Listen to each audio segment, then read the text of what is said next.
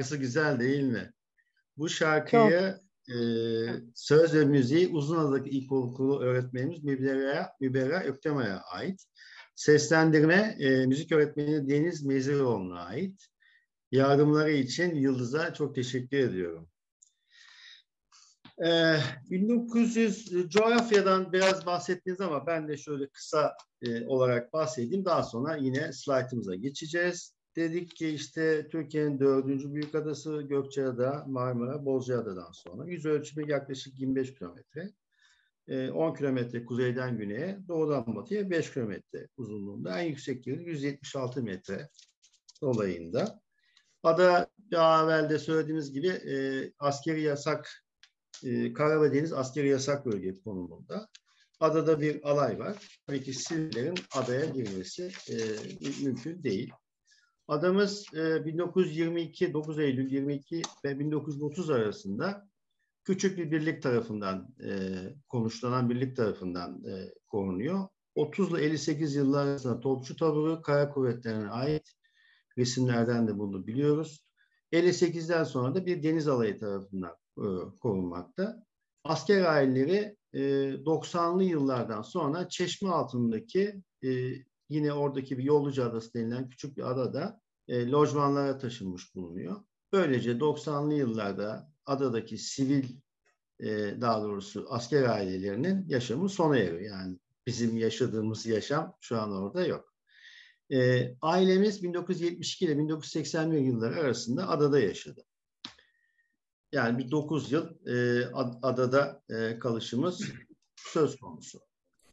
E, daha evvel de söylediğimiz gibi e, kitaplarımız e, işte bu 2017 yılında. Bu kitabı ben kendim bastırdım. Kitapla ilgilenen bilirler. En zor konu bu. Özellikle böyle e, niş konular çalışıyorsanız e, bunları kabul ettirmek kolay değil. E, ikinci kitap ise e, e, Türkiye Sualtı Arkeolojisi Vakfı tarafından aslında benim için bir şanstı. Ama dediğim gibi bugünlerde biraz evvel Emel Hanım da söyledi. Gerçekten çok güç e, kitap bastırmak. Yani 140, 150, 160 liralar görüyoruz. Gerçekten çok çok güç. Allah herkese kolaylık versin diyorum. Şimdi efendim e, şöyle ben e, daha çok e, e, tema tema gitmeyi e, uygun gördüm. E, tabii ki burada e, adayla bağlantılı olan adanın en çok e, işlediği yer Urla. Yani ada bir nevi Urla'nın e, merkez e, devamlı ilişki halinde. Adadakiler ki bunlar hani baktığımızda yüzyılın başında işte e, Anadolu Rumları devamlı e, Urla'yla ve e, merkez İzmir'le ilişki halindeler. Antik Urla'da Klozamenia diye anılan bir yerleşim. E, İsa'dan önce 800 yıllar arasında denk geliyor. E, işte burada bazı e, şeyler pişmiş şeyler göreceksiniz. Yine bunlar bulunan şeyler, eserler.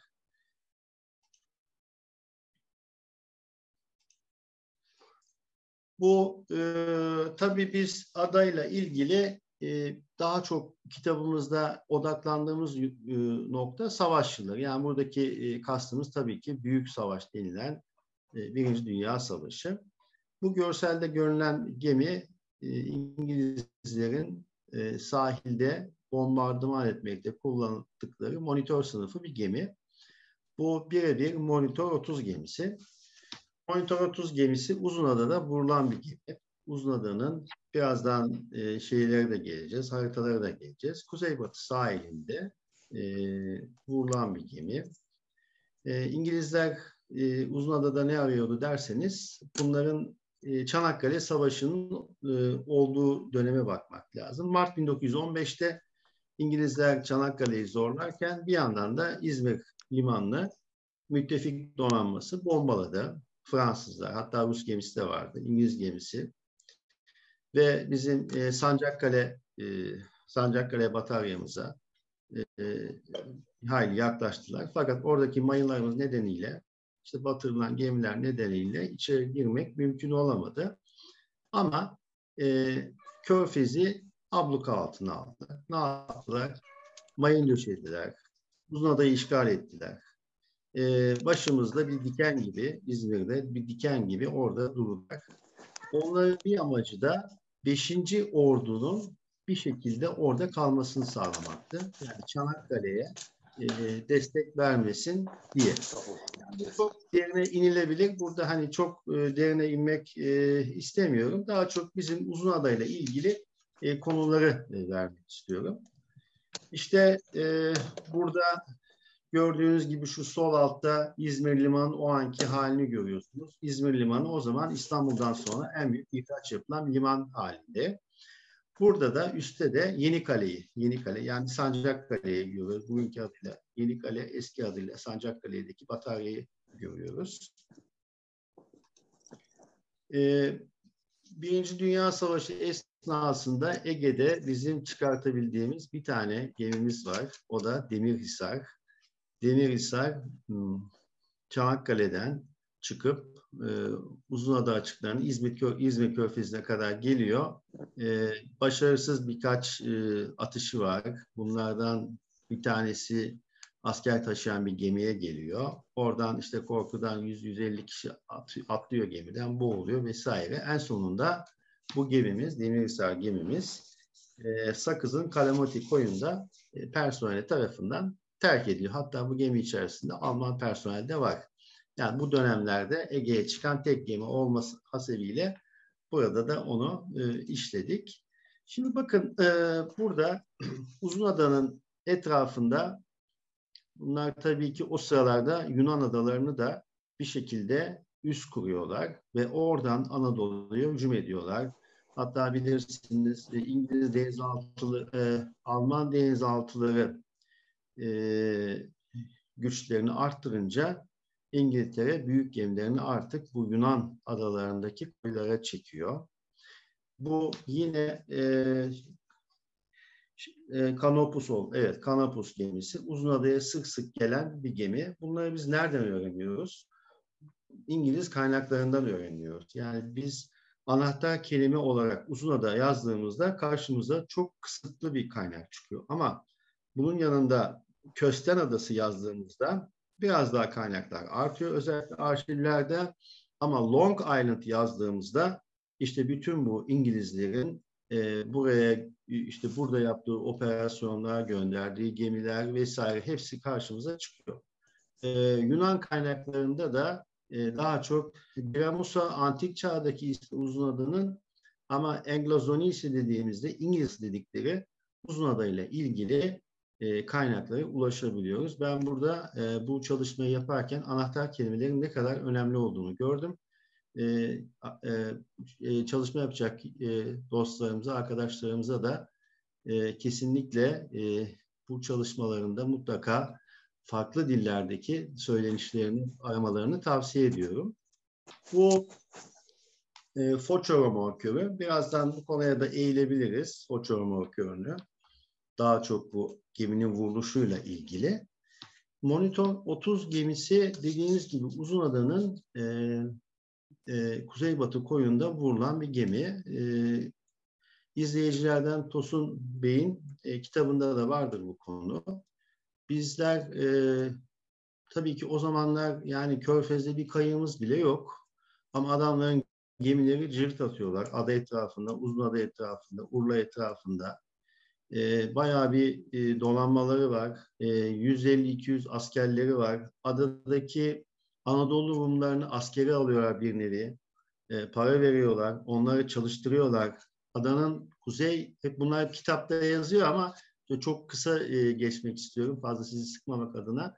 Adanın kuzeydoğusunda bir hava alanı. Tabii o zamanki imkanlar dahilinde. Çamurları e, şey yaparak, döverek oraya bir hava alanı yapıyorlar. Bu çok çok önemli. Niye diyeceksiniz? O zamanki uçakların menzili o kadar fazla değil. 100, 150, 200 kilometre. Bunları Midilli'den, efendim e, ileriden, diğer adalardan e, taşımak çok zor. Uz, e, İzmir'e hücum etmek.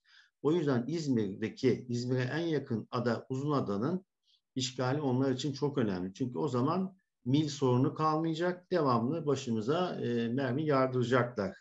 İşte biraz evvel de dediğimiz gibi e, bu e, Yunanlı Anadolu, daha doğrusu Anadolu Rumlarını bu inşaatlarda çalıştırıyorlar.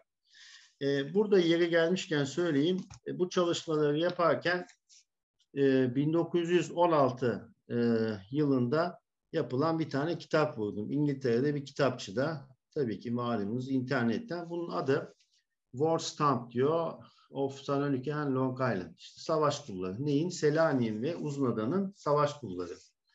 Bu konuya yine geleceğim. Ama bu konunun içerisinde, bu küçücük kitabın içerisinde müthiş bir bilgi var. Bu da nedir? Ee, Uzunada'da bir tane gazete çıkmış olması. Bakın bu ki ben bu e, şeyi gördüğümde gerçekten çok heyecanlanmıştım. Gerçekten adı Long Island Gazete diyor. 1916 Mayıs. Bu kitap da 1916'da. Elimde şu an 106 yıllık bir e, şey kitap bulunuyor. Çok değerli gerçekten. İşte biz bu şeyleri nereden öğreniyoruz? Bu e, adadaki bu Anadolu Rumlarının çalıştırıldığını buradan öğreniyoruz. Çünkü burada e, işte efendim e, garnizon için yapılan emirler var. İşte efendim Hekim Adası'nda birisi saldırışı ateşi kim yakacak? İşte adada o zaman da su sıkıntısı varmış. Şimdi de olduğunu biliyoruz. İşte su ne zamanlar kullanılacak, nasıl olacak? Sabahleyin işte efendim Nikola köyünden yani Tolos limanından e, havaalanına kadar işte saat kaçta gidilecek, kaçta gelinecek vesaire hepsi burada yazıyor. Biz bu kitabımızda zaten Long Island gazeteyi açık, açık e, şey olarak detaylı olarak inceledik. Bununla beraber tabii çok ilginç e, yeri geldi diye hemen onu da ben size göstereyim. Uzunada'da iki tane postane var. Bir tanesi adanın kuzeyinde, bir tanesi de adanın güneyinde. Şimdi efendim bu e, bakın Long Island yazıyor pullarda. Long Island. Bu Long Island Amerika'daki Long Island değil. Bizim işte buradaki işgal ettikleri Long Island. Bakın öncelikle kendileri pul yapamıyorlar e, işte listinde ele geçirdikleri Osmanlı postanelerinden yağmaladıkları pulları buraya getiriyorlar ve üzerlerine işte kendileri de daktiodan bir takım işaretler yaparak e, Uzunada pulu çıkartıyorlar. Gerçekten bu pullar çok değerli pullar. E, bendeki bu bir e, müzayede evinin kataloğunu buldum ben bir yerden ama yine işte anahtar kelime bakın yine Long Island'dı. Şurada yazıyor Long Island diye. Burada gerçekten ne kadar pul çıkarmışlar, ne yapmışlar hepsi tek tek hatta zarflar da var. İşte efendim ada komutanı karısına e, şey yollamış, zarf yollamış. Yok efendim şu şu gemide e, orada görev yapan gemilere o geminin personeli mektup yollamış. Uzunada postanesine geliyor. Uzunada postanesinden de o gemilerdeki personele yayılıyor. Bu gerçekten önemli bir şey. Bu sol tarafta gördüğünüz ev e, muhtemelen bu havaalanının olduğu, daha doğrusu hava pistinin olduğu kuzey e, batı bölgesindeki bir ev. E, buraya işte Fransız ekibi geliyor. Bu ikinci baskıda bundan da bahsettik. Fransız havacılar geliyor. İşte bu resmi falan çekiyorlar. Oraya koyuyorlar. Bunlar tabii e, kitapta bulunuyor. Şimdi bu e, İzmir'in e, işte Mart 1915'indeki bombalanma mevzusu e, bazı tablolara da girmiş.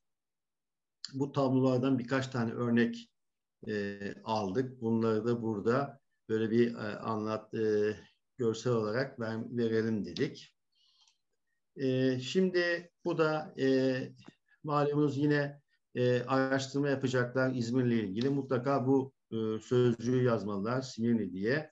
Bu Simirna gerçekten bu sözcükten birçok şeyler bulabilirler. Burada gördüğünüz gibi adamız e, Körfez'in hemen girişinde.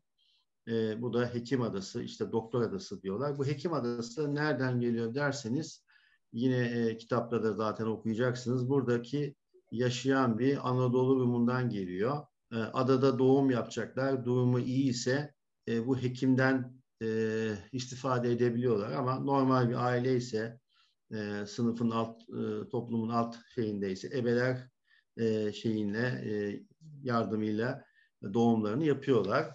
Dediğimiz gibi e, işte Çeşmealtı, Urla İskele. E, burada e, e, Urla Adaları diye geçiyor. 14 tane adamız var. Hemen şöyle bir toparlayalım. Uzunada e, onun iki adası var. Bir tane Zafer Adası ve Nergiz Adası diye. Hekim Adası dediğimiz ve Yolluca Adası. Yolluca Adası bugün Çeşmealtı'ndaki lojmanların bulunduğu yer. Bunlar gördüğünüz gibi askeri adalar. Bunlara ilave olarak İncirli Ada, Urla'nın hemen karşısında. İki adadan oluşan Arap adaları, Akçaada, Pırnallı Ada, Yassıcı Ada ki bunu Alman Adası da deniliyor. İzmir Büyükşehir Belediyesi yaz aylarında buraya e, şeyler yapıyor. Söyleyin e, seyahatler yapıyor.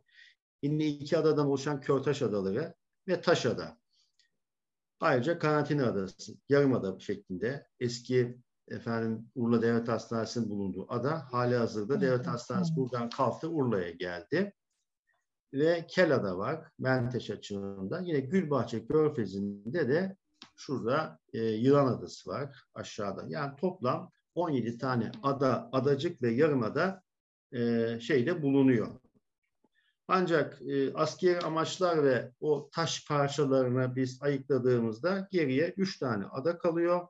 İncirli, Kırnallı, Yassıca, Akça ve Yılan Adası. Bu beş ada e, bilmiyorum belki bir e, tarihi bir e, temayla belki e, turizme kazandırılabilir diye düşünüyoruz. E, işte bu e, biraz evvel dedik ya e, tam şu bölgede Monitör 30'un batırılışı e, bunun bir hikayesi var.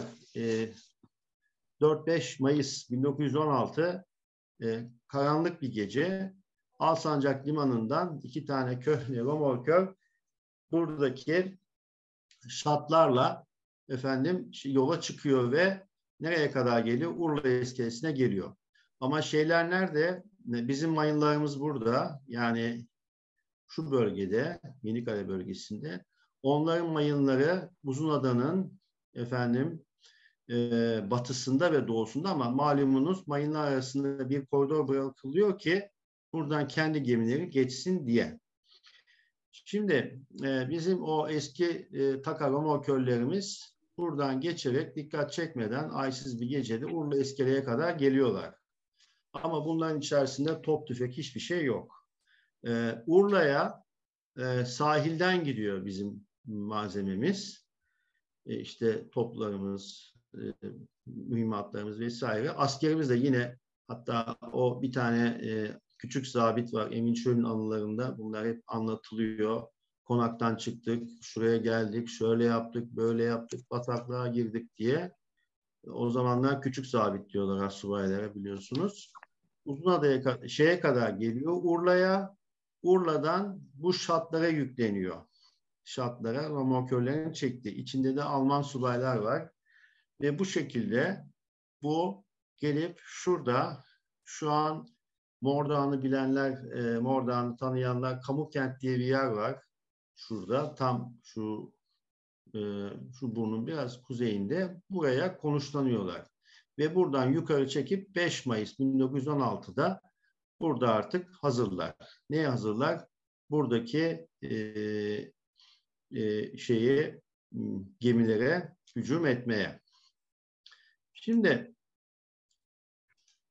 arşivlerde ne var? Arşivlerde işte e, hani bu meşhur e, Levanten ailesi var demiştik. T 1926 yılında bakın Cumhuriyet ilanı 3 sene olmuş. E, orada diyor ki İzmir'de Uzunada bir İngiliz'e mi aitmiş diyor. İşte bu İngiliz dediği aslında Levantenleri söylüyor. İşte burada e, 12 Eylül ile ilgili bir şey var. Türkiye teslim olmuş. Bunda hikayesini birazdan söyleyeceğiz. 1961'de Genelkurmay Başkanı teftiş için İzmir'e gitmiş. Hatta Uzunada'ya geçmiş. Çok ilginç. Ee, bu yine 1982'de donanmamız e, tatbikat yaparken herhalde bu şeyleri e, notamları almayan, denizci ilanları almayan iki tane Yunan gemisine mermi isabet etmiş. Bu en sonunda sağ tarafta export bir Amerikan şilebiyle bir motorumuzu e, batırmış. Yine bu uzun adı açıklarında olan hadiseler. Şimdi bu İzmir, Piri Reis'e göre İzmir Körfezi, tabii bu 1521 tarihli. Adamız burada. İşte bu bizim e, şu an Kemeraltı diyoruz. E, ok Kalesi de denir. Ok Kalesi'nde efendim Hisarönü tarafı oluyor. Eskiden orası liman. Daha sonra sığlaşıyor. Zaten Hisar oradan geliyor. Şu Hisar'dan geliyor. Hisar Camii vardır. İzmir'i bilenler bilirler o, o bölgeyi. Hatta şu an e, belediye var. O İzmir'in ilk belediyesidir. Çetin Mehmet Sergi Salonu vesaire denilen yer. İşte orası aslında bizim eski limanımız Ok Kalesi. İzmir'de üç tane kale var. Bir tanesi Kadife Kale yukarıda, ikincisi Ok Kalesi, üçüncüsü de bizim Sancak Kalemiz. Şu anki yeni kalemiz.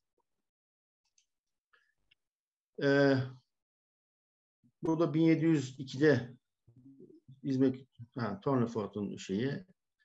Bu da İzmir'de yine öyle gösteriyor. Bakın e, yine burası şey İzles'te Urla diyor. İşte Urla Adaları uzun adayı böyle göstermiş burada. Tabii biraz çarpık çurpuk. E, e, Karaburun biliyorsunuz. Burası da şey Sancakkale yani yeni kalemiz. Burası da o bahsettiğimiz Hisarönü Hisar Kalesi yani o kalesi. Ama görüyorsunuz şurada bir dil var. Bu dil Gediz'in deltası. İşte İzmir'i e, şey yapan, sığlaştıran delta ki daha sonradan Hermus dediğimiz bu Gediz nehrinin şeyi ne yapıldı? Kuzeye doğru çevrildi. Şimdi bu e, yine kitapta da böyle bir almıştık. Malumunuz bu İngiliz kaynaklarında o, o dönemlerde adamlar uzun adaya geliyorlar, işte gidiyorlar vesaire. Onların jurnallerinden bir parça. İşte Kösten Adası'na geldik, geçtik, işte şu, durduk, işte şu, akaryakıt bıraktık, adam aldık vesaire. Neyse bunlar da burada e, yazılıyor. Bakın burası sağdaki e, e, adada e, yaşayan bir Levante'nin evi. 1970'li yıllar Bornova'daki bir ev. Oradan bir görüntü. Bakın bu sol taraftaki de uzun adalı bir Anadolu Rum'un Yunanistan'daki evi. Şuradaki şeyi gördünüz mü haritayı? Bu işte uzun adanın bu da Hekim Adası resmi. Adam ne yapmış bunu? Özleminden evinin e, şeyine e, duvarına asmış. Bu resimler Uzunada'nın e, Haziran 10 Haziran 1916'da e, adanın kurtuluşuna ait resimler. Tabii ki o zamanlar çıkarma aracımız yok. Nedir o? İşte İzmir kayıkları. Gayet güzel. Görüyorsunuz formunu. Buradan adaya çıkıyorlar. Hatta e, Küçük Zabit Emin Çöl'ün anılarında da bu husus var. İşte biz adaya çıktık, işte kiliseye gittik. Orada işte 3-5 tane bakır lira vardı. Şöyle vardı, ada boştu. İşte şudur budur diye orada yazıyor. E, bu tabii İngilizler bir oyun da oynuyorlar. Aslında adayı e, Mayıs ayında e, terk ediyorlar. Fakat e, terk, edikleri, terk edildiğini bildirmemek için sanki orada yaşam yaş, yaşam devam ediyormuş gibi günlerce arkalarına bıraktıkları işte belki bir tim 8-10 kişiyle yine e, ocaklar yanıyor. Sanki orada yaşam devam ediyormuş gibi. Ondan sonra e, bizimkiler gidip e, adayı teslim alıyorlar. Ne zaman? 1916 yılında. Yani toparlarsak Mayıs 1915'te Mayıs 1916 arasında adamız bir yıl İngiliz e, işgali altında kalıyor. İngilizler tabii boş durmuyorlar. Biraz evvel söylemiştik pul yapmışlar. iki tane postane açmışlar. E, bu kitaptan edindiğimiz bilgilere göre de adadaki akar e, şeyleri, dereleri, tepeleri, boğazları, e, bütün o coğrafik e, şeyleri, isimlerini değiştiriyorlar. Ve burada, bunda kitabımızda, Uzunada kitabımızda bunları görebilirsiniz. Nereye ne ismi vermişler. E, yani bir Uzunada bayrağı yapmadıkları kalmış. Efendim bu 1934 yıl, yılındaki bir harita İzmir Körfezi'nin. Bunu ben e, Fatih abimiz var. Fa Fatih Türküstün abimizin e, arşivlerinden aldım. Siyah beyaz bir harita. Bu onun kitabesi. Bu da haritanın kendisi. Bilmiyorum pek gözüküyor mu gözükmüyor mu. Burada da bakın özellikle şu işte bizim yaşadığımız yer e, Toloz Limanı diyor. Yaklaştırayım biraz. İşte Toloz Limanı orada görülen küçücük evlerde işte biz 10 yılımızı geçirdik. Bu evler nasıl evlerdi? Bunlar Anadolu Rumlarından kalma taş evlerdi. Yaklaşık e, kalınlıkları 70 santimdi. Yazları serin olurdu, kışları sıcak olurdu. Böyle iki katlı evlerdi. E, tabii onlar e, maalesef yıkıldı. Bir tanesi kalmadı. Tabii bu bizim için üzücü. Bunu bilmek, yaşamak. Şimdi bu o, bu işte adada e, bizim işgal e, adayı teslim aldığımızda gördüğümüz uçaklardan bir tanesi. Bu da adanın e, Değirmentepe'den çekilen bir şeyi, fotoğrafı. Değirmentepe diyoruz. Gerçekten adı Değirmentepe. Windmill diye geçiyor. Demek ki orada zamanında o tepede e, değirmenler varmış. Demek ki unlarını vesaire orada e, öğütüyorlarmış. Bu adamızın e, iskelesi, iki tane iskelesi, büyük küçük iskele dediğimiz bu da e, lojman. Bizim evimizde işte şuralarda bir yerlerdeydi ama tabii bu şu öndeki hiç e, evler yok. Biz tren ev derdik. Şurada bayağı bir Rum evleri vardı. Anadolu Şu an yok. Herhalde bu ondan sonra yapılmış. Karşıdakiler de yok aynı şekilde. 79'dan sonra. Olabilir. Şimdi e, yine bu bu Uzunada'dan gelme bir küp. E, bunu yerel tarih çalışmalarında e, Tulunay e, bir e, ailemizle görüşürken bu Caritne Hanım'ın küpü. Bunda peynir yaparmış Caritne Hanım. Ve e, adadan tezkereye giden askerlere e, annelerine götürsün diye verirmiş. Bunu da yerel tarih bölümünde e, okuyabilirsiniz. Adada e, Anadolu Rumlarından kalan e, hayvanlar var. Büyükbaş hayvanlar, sığırlar, inekler vesaire. O zamanlar bunlar başıboş gez, gez, e, e, geziyorlar. Biraz daha kişiler kişiler geldiğinde birazdan bunlardan bahsedeceğiz. Onlar da bu işte bazılarını evcilleştiriyorlar. İşte süt sağıyorlar, peynir yapıyorlar. E, ondan sonra etlerini oradan şey yapıyorlar. Bu tabii şeyler, hayvanlar ilginç. E, yani bunlar hem Anadolu Rumlarından kalan e, şeyler e, söyleyin, hayvanlar. Daha sonra burada çoğalıyorlar. E, deniz kuvvetlerinin envanterine giriyorlar. İngilizler bile mesela Menemen'de diyelim orada geziyorlar. Üçtepeler civarında.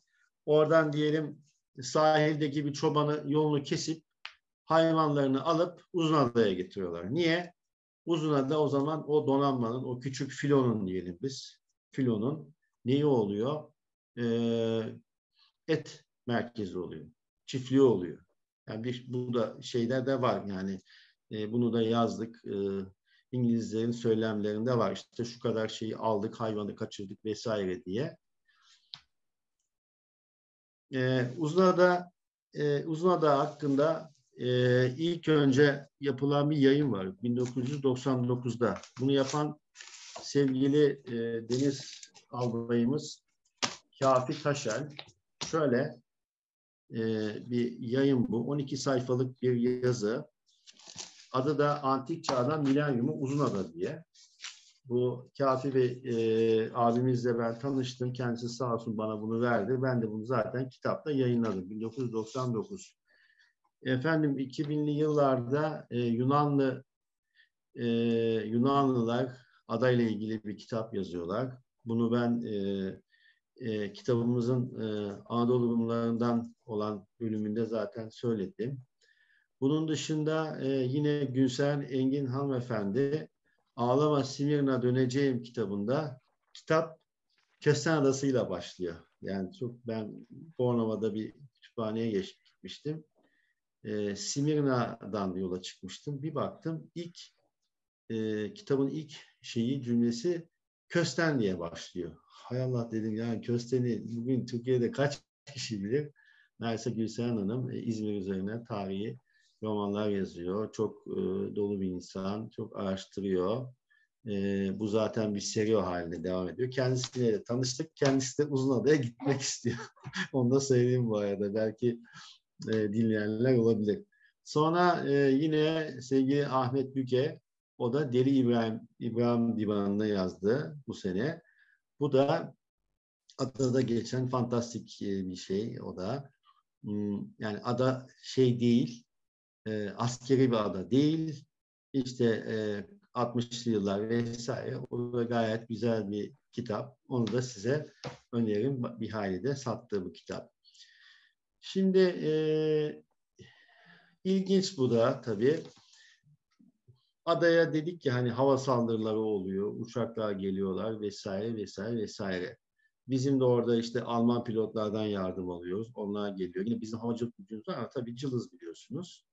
Ee, bizim yine buradaki düşürdüğümüz bir İngiliz pilotu e, şeyde kordonda onun için bir cenaze töreni yapılıyor.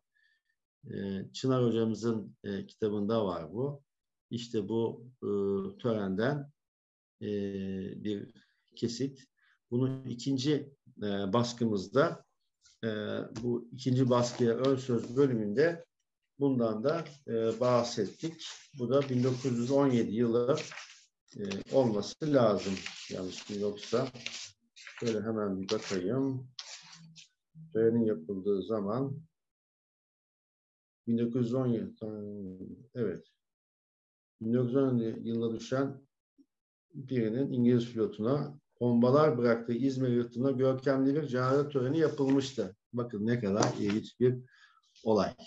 Adam bize bomba atıyor, biz onun cenaze töreni yapıyoruz. İzmir'in o zamanki kozmopolit halini düşünün. Vali var, e, Rami Aslan. Fakat 20 tane konsolos var. Konsoloslar çok güçlü o zamanlar. Düşünün 20 tane ülkenin konsolosu orada bulunuyor. E, kişilerde işte burada e, kimlerle görüştük, ne yaptık? Adada dört tane Mehmet var. Bir tanesi Fenerci Mehmet. Fenerci Mehmet burada. Oğulları Aydın Işık, Ahmet Işık. E, soyadı babası da Fenerci Mehmet Bey'in. Rahmetli kendisi. Babası da kitapta da yazıyor. O da e, Meis Adası'na falan çalışmış. Biliyorsunuz Fenerliler Türkiye'de e, bu tekeli önce Fransızlar alıyor. Cumhuriyet'le beraber hatta Cumhuriyet'ten de sonra e, onların şeyi bitiyor ve bize geçiyor. E, beş kuruş almadım diyor hani de, anlatıyorlar işte de dedesi beş kuruş almamış Fransızlardan onları anlatmışlardı. E, Aydın Bey ve Ahmet Bey Foça'da yaşıyor. Zaten 60'tan e, sonra adada sivil pek kalmıyor. Bir tane Fırıncı Mehmet kalıyor. Biraz evvel dört Mehmet olduğunu söylemiştik. Fenerci Mehmet, Fırıncı Mehmet, Kaptan Mehmet, Çakçı Mehmet. Adanın dört tane Mehmet'i. Ee, Nazlı Hanım, Nazlı Işık ben 2015'te mi görüştüm? 2000, 16 olabilir. Çok güzel gözleri, çok mavi güzel gözleri var. Birazdan nikah fotoğrafını göreceksiniz. Ee, şeyi de çok iyi. E, belleği de çok iyi. Şimdi bakın e, Mehmet'in işte düğünü, Fenerci Mehmet'in e, eşi Nazlı Hanım, çocukluğu, yine bu adada çalışırken. Bu fotoğrafı ben çok seviyorum çünkü Uzunada'nın bakın tarihini veriyor. Bu büyük iskele. Büyük iskelenin üzerinde böyle fotoğraf okuyanlar herhalde bunu seveceklerdir. Büyük iskelenin üzerinde ne, raylar var. Demek ki buraya bir ekovil hattı gibi bir şey var. Bir şeyler geliyor. Şurada Vagon Yıldız. evler. Ha evet Yıldız bunu çok güzel bilecektir. Yıldız siz ikinci evde miydiniz şurada? Hayır hayır. Bak bu en başta yılan olan ev. Şu mu? Siyah yılanın yaşadığı ev. Evet süt içen yılan. Onun yanında bir, iki, üçüncü ev bizim. Siz şuradaki. evde. Evet. Sizinki arka. Bak manastır gözüküyor. Bizim arkada. Evet. Bu Manastır işte gözüküyor. hmm, cami. Şu an yok tabii cami orada. Hmm, Şurada bakın büyük bir balık yakalamışlar. Şu bir eee kara kuvvetleri zamanında bir davet vermişler. Burada da yine o Aynen. daveti görüyorsunuz. Bu da Fenerci Mehmet'in askerliği. Fenerci Mehmet tabii adı üzerinde askere de yine Uzunada'da gitmiş. E, Karacı üniforması, Karacı olarak ki o zaman Karacılar'da adı, Karacı olarak orada askerliğini Fener'de yapmış. E, Cafer abimiz biz maalesef bu sene Temmuz ayında kendisi kılavuz kaptan, benim meslektaşım 1981 mezunu. Bu sene Yalova'da e, tekneden düştü ve vefat etti. E, Yıldız tanıyor kendisini, ailesini tanıyor. Orada beraber çalıştılar. Cafer abimizi kaybettik. Allah rahmet eylesin. Onun da Astemin olarak adada çalışmış. Yine bu e, konuş e, şeyde m, sözlü tarih çalışmalarının onun da sağ olsun katkısı oldu. Çarkçı Mehmet'in ailesine ulaşamadık ama resmi ulaştık. Onu da burada e, sizlerle paylaşıyoruz. E, yine e, bizim benim arkadaşım Caner Öner'in babası Ömer amca e, Deniz Alber Kafi Taşer biraz evvel konuşmuştuk. E, kendisinin yaptığı notları göstermiştik. Yıldız burada zaten. Gülsen, Gülşen Alman Tulunay. Gülş, Gülşen Hanım bize e, o işte e, o küp küpü resmini orada çekmiştik. Cavit Nam'ın küpünü. Öğretmen Hüseyin Durmaz tanıyor rahmetli oldu. Çeşme altında dükkanı vardı. Rahmetli oldu. Birkaç sene evvel kaybettik. İzmir'in liberal valisi Rahmi Arslan. Ee, bu Birinci Dünya Savaşı yıllarında çok geçiyor bu yıllarda isimleri. Yine e, başka bir Mehmet, Kaptan Mehmet. Kaptan Mehmet'in e, kızıydı Gülşen Hanım burada kendisi ve eşi. Bir e, kolu e, yok dinamit atarken bir kaza geçirmiş. Yine e, Sadullah e, oğlu, o da rahmetli olmuş. Yine kızları Yıldız Hanım. Hep onlarla konuştuk. Kıbrıslı Kamil Paşa İzmir valisi o zamanlar. İşte bu 1867'den sonra yabancılara mülk satışı başlıyor. İşte o mülk satışından sonra işte e, adada e, bir takım e, hareketlenmeler oluyor, alıyorlar, satıyorlar vesaire. E, biraz evvel demiştik işte Uzunada'da adaya çıkan küçük sabit vardı Emin Çöl. O, kendisi e, esir kaplarında kalmış, kör olmuş. Burada da öyle bir fotoğraf var. İşte adaya ilk çıkanlardan bir tanesi olduğunu söylemiştik. E, Mehmet amca, e, Fırıncı Mehmet, e, oğullarınla halen görüşüyoruz, e, torunlarınla görüşüyoruz. Temasımız var. Burada, Balıklı Ova'da. Evet. E, Kaptan Salih Enginer rahmetli o da Urla İskele'de. Urla'nın Urla İskele'de yaşayanlar bilir meşhur bir muhtarı e, Salih Bey. Ben e, yetişemedim kendisine, görüşemedim. E, Uzunada'nın e, iskelenin yapımında, NATO iskelesinin yapımında vesaire oraya teknelerinde personel taşımış, söyleyin e, malzeme taşımış, kum taşımış, çimento taşımış çok emeği olan birisi. Maalesef e, kendisiyle tanışamadık. E, oğullarımla görüştük. E, notlar aldık. Yusuf Demir, e, e, e. Fırıncı Mehmet'in e, kızınla evlenen e, abimiz. Yine Şişman yine Uzunada'ya gelen giden onun da e, şeyleri var, anlattıkları var. Uzunada'da ki bir aşçı kardeşimiz ama ismini bilemiyoruz. O şekilde bize söylediler. E, babam rahmetli Yüksel Ay, Hanım. Yüksel amca. Evet. Mayıncıydı o da. Bir işte teftiş esnasında herhalde amirali karşılıyor. Bu Kasım 2015 e, beraber gittiğimiz zaman Uzunada'ya Kerem o zaman bayağı ufak yaklaşık işte kaç yaşında 3 yaşında falan eşim Arzu. E, Uzunada Postanesi'ni biraz evvel söylemiştik. Bakın e, Mondros e, şeyine git HMS Europa diye bir gemi var. e, savaş gemisi. İşte Lockheed Royal Navy Voluntary Reverse. Bu yedek asker. İşte ona yollanmış Londra'dan bir zarf.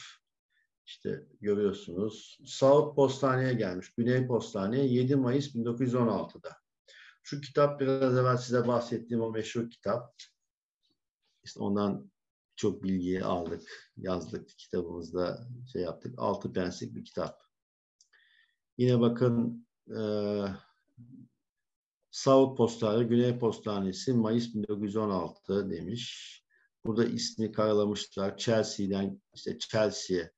Şu yazan kişi yine bu yedek bir asker nereye yolluyor? Londra, South West'e yolluyor. Bu şeyi, e, mektubu. Aynı şekilde bakın şunları da daktilo ile yapıyorlar. İşte alıyorlar daktiloyu ellerine. İşte Georgius Rexius İmparator Long Island diyor. Bu kekeme kral şu, şuradaki Long Island işte altı pens. Şuradaki de ada komutanının imzası şu. Yani parafı diyelim artık sabit kalemle. Bu kitabımızın arka yüzü demiştik. Ee, başlarda ellerindeki e, el koydukları, çaldıkları Osmanlı pullarını kullanıyorlar. Üzerlerine yazıyorlar iki pens, üç pens falan filan. Ardından bu sefer kendi uyduruk e, şeylerini yapıyorlar daktiloda. Bakın Kuzey Postanesi 22 Mayıs 1916. Poyraz Zaten Mayıs ayında da adayı terk ediyorlar. Anadolu Rumlarla ilgili neler diyebiliriz?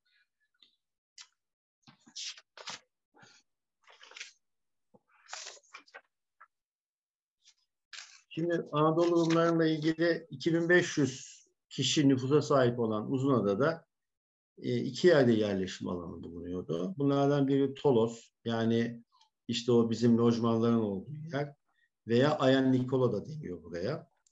Diğeri de çiftlik veya Aya Paraskevi. Aya biliyorsunuz işte Aziz demek. Aziz Nikola ve Aziz Paraskevi diye e, yerler. Üçüncü mezra ise Aya Aya Pantelemeon. O da bir Aziz ismi.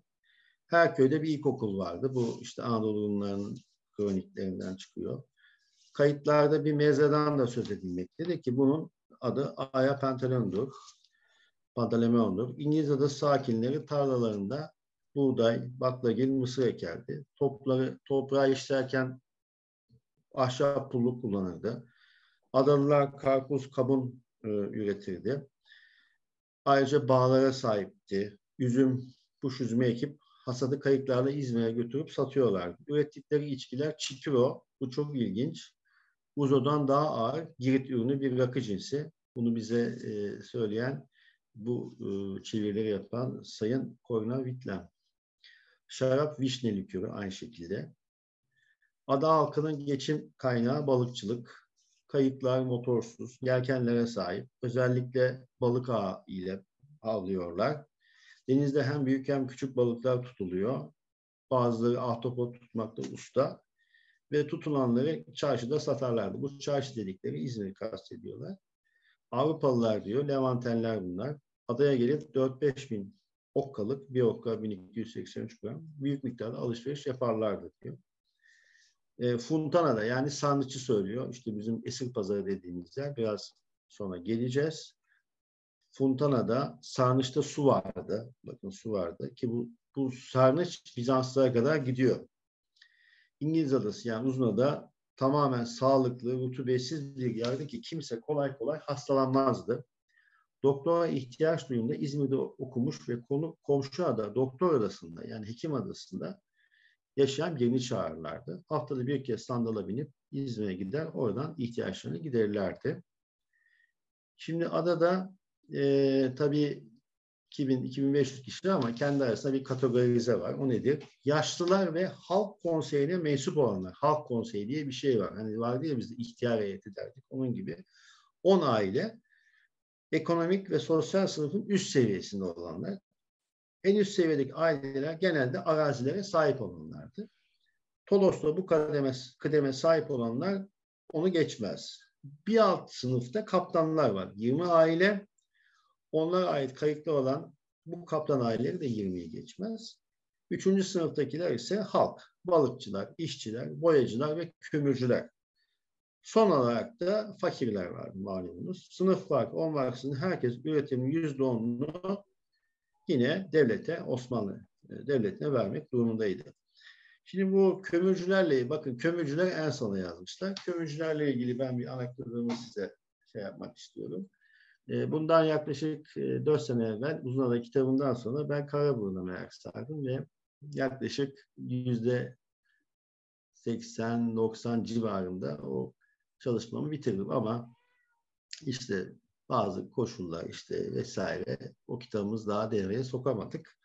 Orada bir e, Yunanistan'da bir e, Anadolu grubuna rastlıyorlar. Diyorlar ki ne yapmak isterdin diyorlar. O da diyor ki Karaburun'a gidip kömürcü olmak isterdim diyor. Yani kömürcü burada da söylendiği gibi en alt tabakada ama adam o kadar e, vatanını, memleketini e, şey yapmış ki, özlemiş ki oraya gidip kömürcü olmaya razı. İşte böyle bir e, insanların doğduğu yerlere bir hürmeti var. Efendim, işte bu e, şeyleri biz nereden aldık? E, bu Birinci Dünya Savaşı çıkınca 1914 Haziran'ında e, özellikle e, Limon von Sanders Almanya'dan bir şey geliyor, ekip geliyor, teknik ekip. Bunlar bütün İzmir sahillerini dolaşıyorlar. Nerede şey var işte Anadolu bunları nerelerde yaşıyor? İşte Alaçatı'da yaşıyor, Urla'da yaşıyor, efendim Foça'da yaşıyor, Dikili'de yaşıyor, Ayvalık'ta yaşıyor. Diyorlar ki bunları siz işte efendim e, şeyle bir takım legal olmayan şeylerle siz bunları buradan kovun diyorlar. Ve bu insanlar işte e, buralardan kovuluyorlar ve nereye gidiyorlar? En yakın adalara gidiyorlar. İşte uzun adalar nereye gidiyor diyelim? İşte Sakız'a gidiyor, Midilli'ye gidiyor vesaire. İşte Ayvalıklılar da Midilli'ye gidiyor gibi. İşte bunlar da yine Foça'dan e, giden aileler.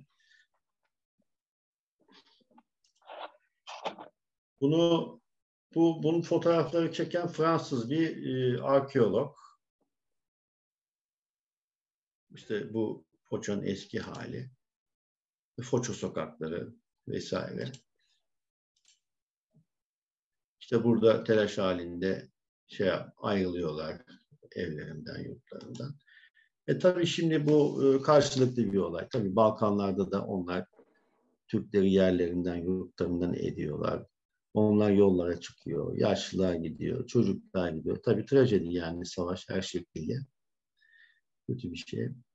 Bu bu fotoğraf Uzunada e, bu, tabii o e, oradan gidenler kendi kültürlerini korumak için dernekler oluşturuyorlar. Bunlar da Uzunadalılar Derneği. İşte yılda kitapta bunun ayrıntıları var. Fazla girmeyeceğiz. E, sıkmak, sıkmamak açısından. Burada da işte bir folklor şeyi var işte bir toplanmışlar. Oradaki işte kendi şeylerini, ezgilerini, türkülerini, folklorlarını burada e, yansıtıyorlar. Böyle toplantılar yapıyorlar.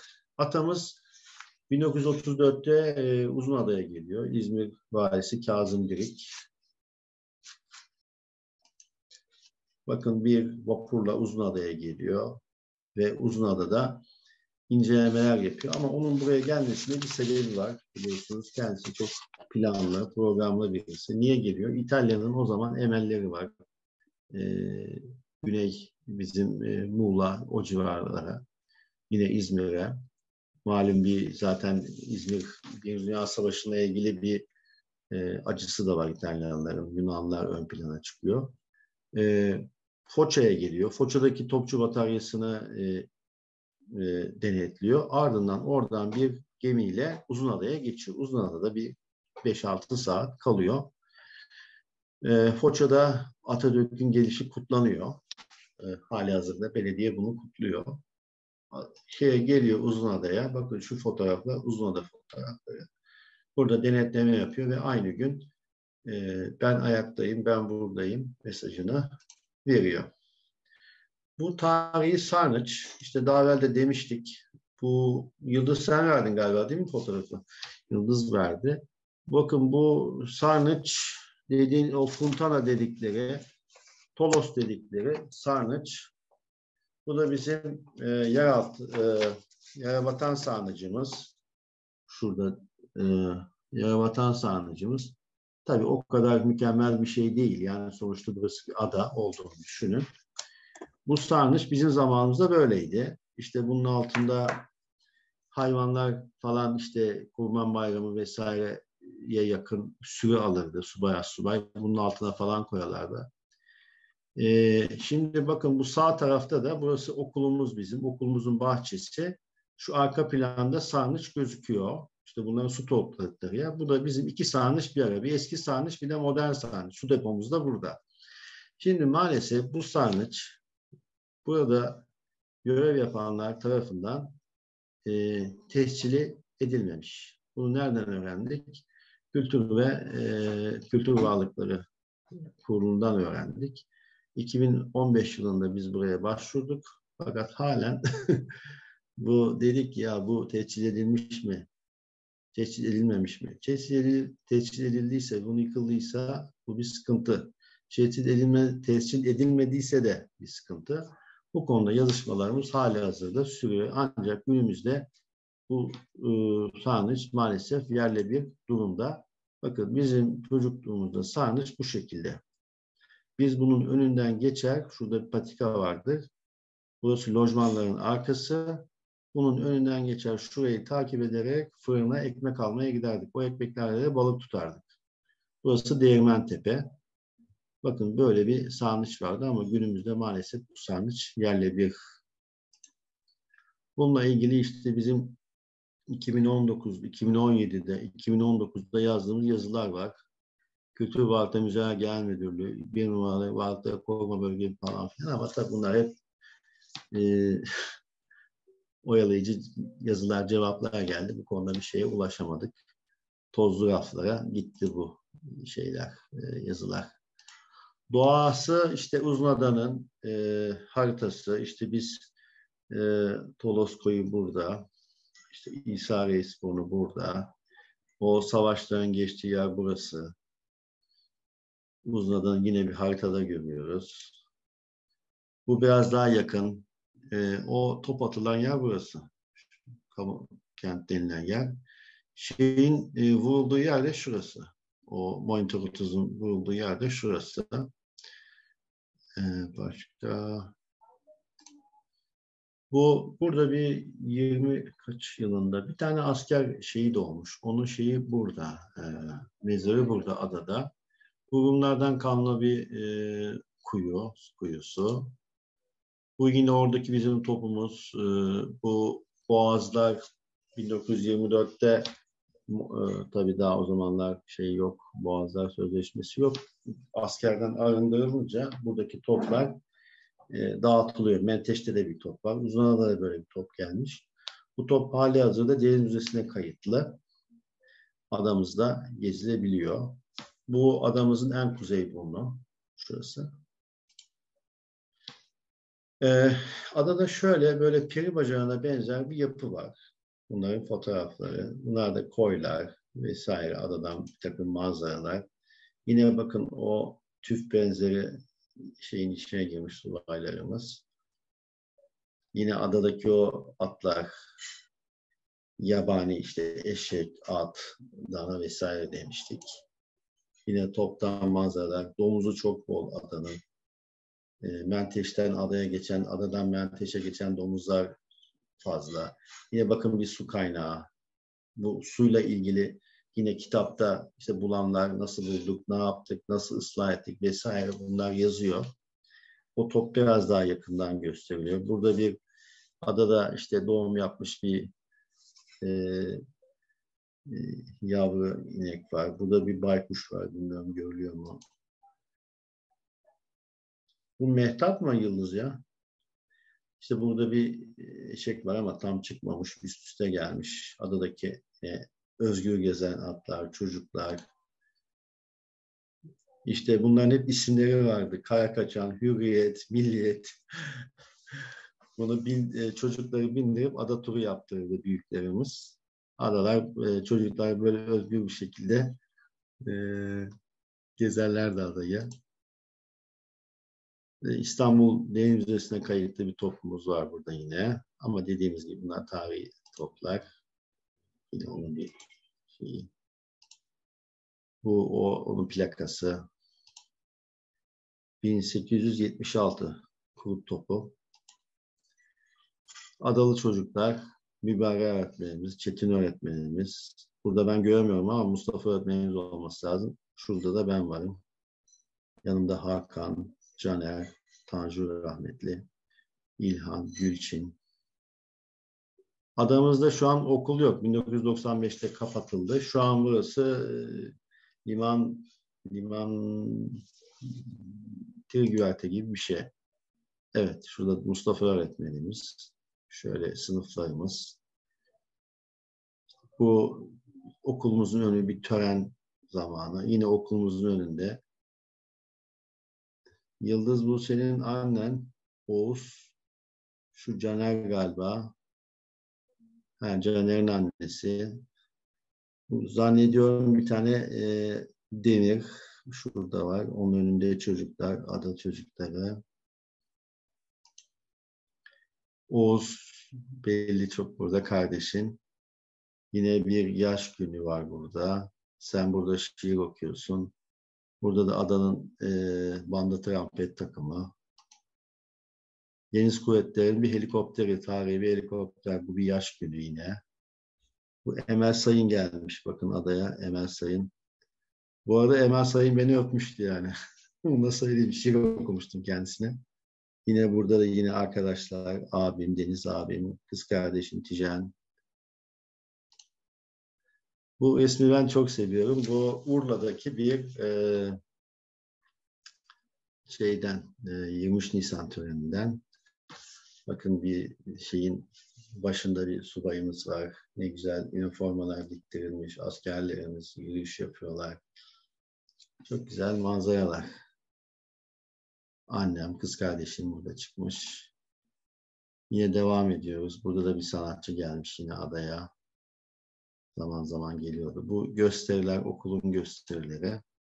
Bu bizim meşhur Narlıdere'miz. Bu bir e, vasıta motoru. Küçük iskeleye yana, evet küçük iskeleye yanaşıyordu. Bununla e, önce Urla iskelesinden adaya, daha sonra e, Kırgız galiba Menteş'in içerisindeki Kara Kuvvetleri Birliği'nden adaya servis yapılıyordu. İşkan paralar da geliyordu ama işkan paralar sonradan kalktı. Narlıdere teknemiz gidip geldi. Ee, yine işte bir e, okul estantenesi. Benim pinalardan çıkardığım o küçük işte inciler diyelim artık. Okulun önü. Annem, kız kardeşim çıkmış Nurdan teyze. Adadaki e, eski toplar yine, adadan bir takım manzaralar, e, yine adanın içerisindeki bazı şeyler, e, subay lojmanları, İşkan Pavya çıkmış bu tarafta. Ada komutanın eşi Pamuk teyze diyorlarmış. Kitapta var. Yine Assubay gazinosu. Bu bir lojman resmi. Ben, abim, annem, kız kardeşim, Ali Rıza galiba. Yine bu bir taşıt. Bu da adanın en büyük e, şeyi. Danası diyelim. İsmi vardı ama şimdi aklıma gelmiyor. Bu da ailemizden bazı resimler. Bakın Esek Pazar olduğu gibi gözüküyor. Su deposu. Büyük iskele. Ambulansımız vardı acil durum olduğunda. e, bununla sevk ederlerdi Urla Kemik Hastanesi'ne. Karantina adasındaydı o zaman. Sonra devlet hastanesi oldu ada. 1980'lerde adada tabii e, darbede Erbakan ve Türkeş'i e, konuk etti.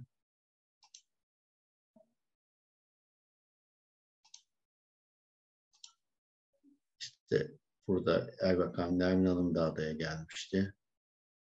E, Emin Çoraşan'ın Milliyet Gazetesi'nde bir şey var, dizisi çıktı. Bunu da kitabımıza koyduk. 2015'te de biz adaya gittik. Ee, Keremcim kucağımda. Bu bizim evimizin bulunduğu alan. Burası tabii sonradan yıkılmış bu binalar. Şu lojmanımız. Bu lojmanın bu tarafında kalıyordu. Bu yeğenim. Logolar e, hali hazırda adamımızın logosu böyle. Ben bunu bir dostumuzdan Özgün Bey'den rica ettim. O yaptı. Böyle bir logo yaptı bize. Sağ olsun. Sonra bu şu anki logo. Ee, Anadolu Rumları da böyle bir logo ile adayı tanıyorlar. Şöyle adanın aynı resmi. Şöyle bir şeyleri var. Onlar da yine böyle kendi şeylerinde adayı e, kültürlerinde canlandırmaya devam ediyorlar. Kerem çok ufak işte 2000 kaç bu? 17 Mart 4 yaşında o zamanlar da müthiş bir e, matbaa makinesi. İmza günü yapmıştık o zamanlar. Sunumlar yaptık. İkinci baskıda da e, Martik bize destek olmuştu. Çok teşekkür ederim izlediğiniz için. Sağ olun. Evet, biz teşekkür ederiz. Ee, adada hayat e, çok güzel göründü. E, 23 Nisan töreni Urla'daki öğretmenler, öğrenciler gerçekten e, çok keyifle e, baktık. Biz de eski günlere gittik yani. Seyahat ettik. Evet, siz eski günlere gittiniz, bizi de beraberinizde götürdünüz. Gerçekten adada hayat güzelmiş. Ne mutlu, ne kadar güzel. Şimdi çocuklar böyle yani ben çok üzülüyorum bu pandemide de böyle. Yani arkadaşsız, apartmanlarda. Ne olacak bu çocukların hali?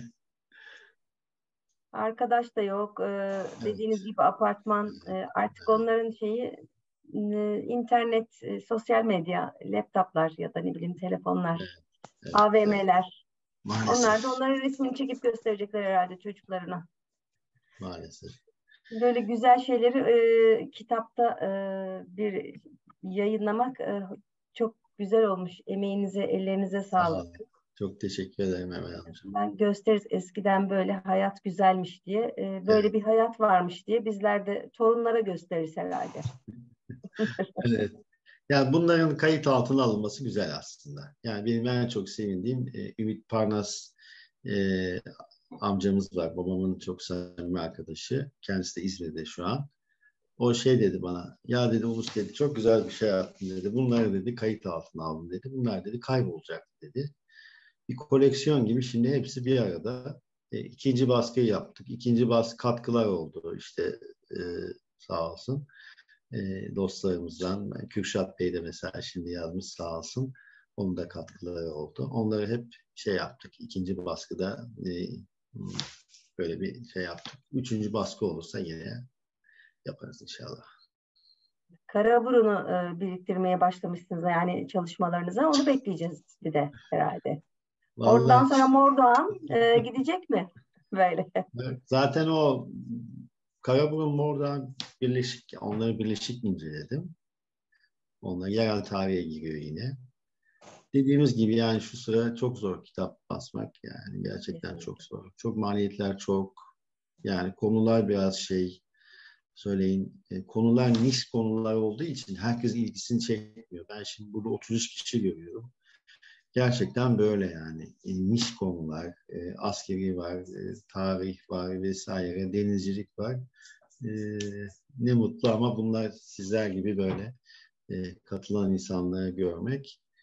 Ama aşılır yani bir şekilde aşılır. Dernekler var, vakıflar var, konuşulur. Biraz da biz katkı yaparız, bir noktaya geliriz.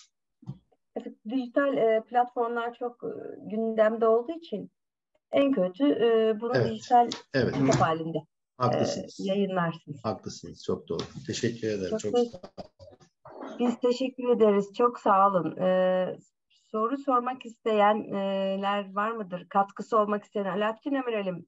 Uzun adayla ilgili e, sizin mutlaka katkılarınız vardır. Önce bir soruları alalım da e, şey yapalım isterseniz. Önce bir misafirlere bakalım. Eller var zaten ayak e, şeyler Evet, şimdi, görüyorsunuz. şimdi eller kalktı. Ee, hemen e, sırayla gideyim. Emin e, Bey, buyurun lütfen. İyi akşamlar e, Emel Hanım. E, Uluç Bey'e teşekkür ediyorum dostuma. Ben biraz geç katıldım. Şöyle e, pazartesileri sekiz buçuk olduğunu e, kaçırıyorum. Dokuz buçuklara alıştık hep. E, bir de dışarıdaydım geldim ama şeyi kaçırmadım herhalde. E, daha evvel öğrettim. Yani ilk okul var da şimdi mi okul yok uzun adada? Evet, Yani- ilkokul yok şu an çünkü adada şey kalmadı, aile kalmadı yani. Ha, Yani yaşayan- Asmail ailesi Çeşme altındaki Yollucu Adası'na geçti. 85 yılında orada e, şey yaptılar, lojmanlar yaptılar. E, Yani bir yerde yani şey de haklı yani subay subay da haklı. Çocukları ufak işte ne bileyim ortaokulla o vasıtaya binmek zorunda. Her gün Urla'ya git, gidip gelmek zorunda. E, kışı var, denizi var, domuzu var. O iş yürümüyordu yani. Peki Zaten- e, yerel halkla nüfus gerilemesi mi oldu? Adada. Yani oradaki adadaki halk dediğimiz oradaki zümre subay, as subayın aileleri. Onun dışında bir şey yok. Onun dışında dört tane sivil var. Fırıncı Mehmet demiştik. İşte Fenerci Mehmet, Kaptan Mehmet, Çarkçı Mehmet. Ama bizim zamanımızda sadece Fırıncı Mehmet ve ailesi orada kalıyordu. Evet. e, orada kalıyordu. Onlar da 10-15 kişi falan belki daha az. E, yani adayı oluşturan zümre subay, assubay aileleri idi. Yani Anladım. öyle yani bizim Anladım. orada Ee, kitapta anlattığımız maceralarımız bu hep subay assubay çocukları, onların anneleri, babaları diye. Re- resimleri kaybetmeyin bari yani e, yakında belki nüfus çoğalır inşallah. Teşekkür ederim sunum için. Ben teşekkür ederim. Sağ olun. Evet, e, Ferhat Bey, e, buyurun lütfen sorunuzu alalım. Teşekkür ediyorum. Herkese iyi akşamlar. Uluç Kaptan'a çok teşekkür ediyorum bu güzel sunumu için. Akıcı ve değişik sunumu için. Ee, siz ikmalin yani adaya malzeme veya askeri malzeme ikmalin Menteş'ten yapıldığını söylemiştiniz. E, Menteş biliyorsunuz e, Kara Harp Okulu'nun eğitim kampıdır. Ben 64-65 yıllarında kampta orada bulundum. E, arkada tepelerde büyük toplar vardı ki onların sizin e, adanızdan yani uzağdan gittiğini söylediniz galiba. Sanıyorum iki taneydi. Bilmiyorum bir mi iki mi tam hatırlayamıyorum. Fakat gösterdiğiniz resimdeki toplardan daha Tamam. büyüktü. Ve Vi- bunlar, videoyu da başlattı. ve bunlar Evet, İzmir- videoyu da aç, e, başlattı. Da basayım mı? Ve bu topların İzmir Körfezi'ni korumak için kullandığını söylemişlerdi. Bilmiyorum Evet. bu konuda bir açıklama yaparsanız e, memnun olurum. Çok Teşekkür teşekkür, ederim. Çok sağ olun katkınız için. Şöyle efendim, e, biliyorsunuz bu m, 1924'te Boğazlar meselesi çözülmedi. E, orada da bizim toplarımız vardı. Boğazların silahlandırıl silahsızlandırılması gündeme gelince onları e, Boğazlardan alıp e, gemilerle e, yine bu uzun adaya Menteş'e getirdiler. Menteş'teki top bildiğim kadarıyla e, orada. Ama ben tabii malumunuz askeri bölge olduğu için e, içeri girmemiz söz konusu değil ama Uzunada'daki topu biliyoruz efendim. Yani oradan e, getirilen toplar. Yani bunlar savaş esnasında Uzunada'da böyle bir top yok. 1924'ten sonra Uzunada'ya getiriliyor, Menteş'e koyuluyor bu toplar ama biliyorsun e, 60'lı yıllarda da bunlar- Menteş'teki, Menteş'teki toplar Çanakkale'ye geri götürüldü. İki tane e, top e, Çanakkale'ye geri gittiler, geri alındılar. doğrudur. Onlar Yani- yani Çanakkale'den getirildikleri için e, daha sonra tekrar Tekrar. Çanakkale'ye geri alındılar. Şeydeki duruyor, Uzunada'daki duruyor. Uzunada'daki Deniz Müzesi'ne kayıtlı. e, plakası da var üzerinde. E, böyle diyebiliriz. Ben tabii 63-64 yıllarında bahsediyorum. Alaaddin General'in söyle- Efendim, efendim e, hak, haklısınız. O şey yani e, 2000'li yıllarda getirildi ya. Yani e, benim de e, Ege Deniz Bölge Komutanlığından önce yanlış hatırlamıyorsam e, 2007-2009 döneminde falan o dönemde iki tane top e, Menteş'ten haberlerde falan çıktı ama Çanakkale topları memleketlerine döndü diye öyle şeyler oldu. İki top geri döndürüldü. 80 ya işte e, 2000'li yıllarda oldu yani şey değil. Evet efendim teşekkür ediyorum. Ben teşekkür ederim. Sağ olun. Evet, teşekkür ederiz katkılarınız için de. Saral Bey buyurun efendim sorunuzu alalım. Teşekkür ederim. Efendim kıymetli kaptanıma teşekkür ederim. Sağ olun. Yüksek müsaadeleriyle bir ufak bir katkıda bulunmak istiyorum. Estağfurullah efendim. Buyurun. Efendim ben eee Avusturya, Macaristan, Osmanlı, Türk münasebetleri üzerine uzun yıllardan beri çalışıyorum. Bu konuda makale ve kitaplar yazdım. Bu çalışmalarım sırasında ilk defa Kösten Adası yani Uzun Adadan e, Liman von Sanders Paşa'nın Türkiye'de 5 yıl adlı kitabında rastladım. Onu, o zamana kadar bundan hiç haberim yoktu. Neymiş ya bu filan yani bilmiyorum, duymamıştım. Ve araştırmaya başladım. Araştırınca da muazzam bir olayla karşılaştık. E, Nitekim siz de biraz evvel konuşmanızın baş- başında o kitaptan fa- faydalandığınızı söylediniz. Ve bu makalede oldu. İki kitap halinde yayınlandı. İlk kitap e, Çanakkale, Sina, Filistin cephelerinde Avusturya Macaristan ordusu topçu bataryalarıydı. Daha sonra bu Avusturya Macaristan ordusunun e, Türk cephelerinde çok yüksek fa- e, faaliyetlerini görünce ikinci kitabım çıktı Türklerle beraber. Bu sefer kayakçılar, muhabereciler, topçular, bahriler yani bilumum Avusturya Macaristan ordusunun e, birliklerin Türkiye'deki faaliyetlerini anlattık. İşte burada daha geniş bir şekilde sizin bu adımızı anlattım. Efendim, e, bili- Sayın e, Kaptanımın arz ettiği gibi, anlattığı gibi İngilizler Çanakkale Boğazı'nı albuka ettikleri zaman e, İzmir Körfezi'nde büyük bir albuk altına almışlardı. 5-6 büyük zırhlıyla hatta Rus e, gemisi bile vardı. Aşkol. içine bir Askot evet vardı. E, ve Kösten Adası'nda bir hava elemanı e, alanı inşa etmişler. Oradan devamlı surette İzmir liman, İzmir şehrini taciz ediyorlar, bombalıyorlardı. E, bu şeyi tehlikeyi bertaraf etmek için Liman von Sanders İngilizler Çanakkale'den defolup gittikten sonra boşta kalan Avusturya Macaristan bataryalarını İzmir'e getirdi. Bunlar ilk önce 36 numaralı e, obüs 15'lik obüs bataryasıydı. Daha sonra e, 9 numaralı 24'lük havan motorlu havan bataryasını getirdiler ve Sayın hocamızın, kaptanımızın anlattığı gibi bu bataryalar sayesinde İngilizlerin gemileri taciz edildi, hatta batırıldı ve İngilizler e, İzmir Körfezi'ni terk etmek zorunda kaldılar. E, bu olaylar pek bilinmez Türkiye'de maalesef. İşte değerli kaptanımın ya- yazdığı kitapta, ben Deniz'in yazmış olduğu iki kitap ve makalede, bir de kıymetli Celal Öcal arkadaşımızın yazmış olduğu İzmir'in savunması konulu kitapta anlatılır. Bu vesileyle ben e, dört tane de resim gönderdim. Bilmiyorum e, onları yayınlamak imkanı varsa biraz da onlardan bahsedeyim.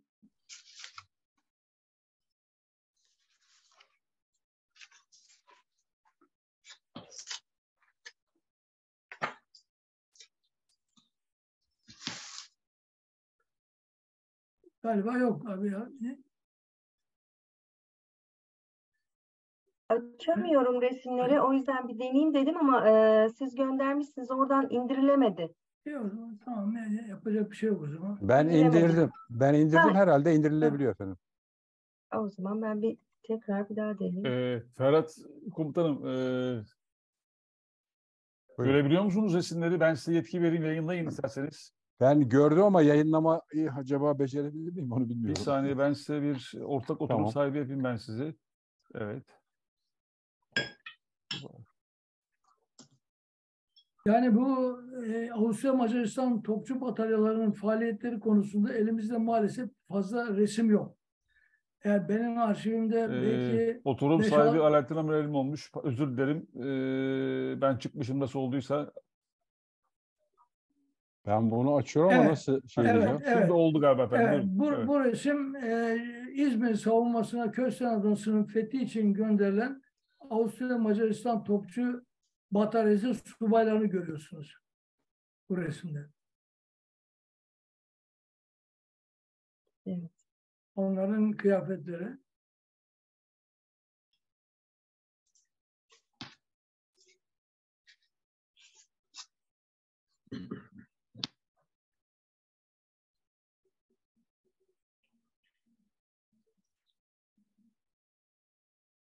Ferhat Bey siz mi paylaşmıştınız resmi? Hayır ben ben paylaşmadım. Ben diğer resmi açmıştım fakat paylaşamadım. O zaman bu çıktı. Ben, tamam. Ee, şu an başka ha Evet. ikinci evet. resme geçebiliriz. Bu Tamam. resimde tamam. yine efendim e, 36 numaralı e, obüs bataryasının askerlerinin e, kullandığı rozet. Bu çok güzel. Evet. Bunları e, Sayın Kaptanım siz e, kullanabilirsiniz yani şeyinizde. Çok güzel. Gerçekten belli yani. Çok hoş. Yıl var, Simirna yazıyor, Türk Evet. şeyi var, batan bir gemi var, tepeler var. Evet. Çok Bu zaten e, batan monitör M30 zannediyorum. Evet, Monitör evet, evet, Çok evet. doğru. Vatan monoton var, evet. Monitör Ee, bir, dakika, bir dakika şimdi diğer resimleri indirmem lazım sadece. Diğer iki resmi indireceğim. O yüzden biraz vakit. Siz efendim bu arada sunumunuza devam edin. Benim şeye dönmem lazım çünkü. Evet, orada resimlerden bir tanesinde bir Mauna resmi var. Yine Sayın Kaptanımın ilgisi çekebilir. Bu Maunalara yüklenen toplar e, İzmir'in bir yakasından diğer yakasına taşınmışlardır. Çok merak ediyorum ben. Siz inşallah aynı resimleri indirmedim. Bir dakika şimdi.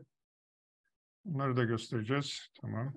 Tosun Bey ben resim bir şey sormak resimler- istiyorum. Özür dilerim Tosun Bey. buyurun. Bu monitör 30'un rozeti orijinali nerede acaba biliyor musun? Sizin elinizde mi yoksa başka bir yerden mi var? Ben ben bunu başka bir yerden buldum. Bende yok yani. Orijinali yok. Resim Nerede var. acaba orijinali? Yani ben bilemiyorum. Bir yerde e, almışım. Ben, Bir bende tanesi bu herhalde. Evet, bu, bu evet bu mauna işte bu bu tür maunalara e, toplar yüklenerek e, bir yakadan diğer yakana taşınmışlar. Bu yağlı boya değil bunlar sulu boya resimler. Bunu o sırada Çanakkale cephesine ve İzmir e, cephesine gelen Macar asıllı Avusturya Macaristan Üsteğmeni ressam Vilmos Knoş tarafından bunlar yapılmış bu resimler. Bunu İşte görüyor bu da, musunuz? bu, evet, bu da yine Kösten Adası'nın yani Uzun Adanın alınmasında kullanılan 15'lik obüs bataryası. Çok çok değerli, çok güzel Evet. şeyler.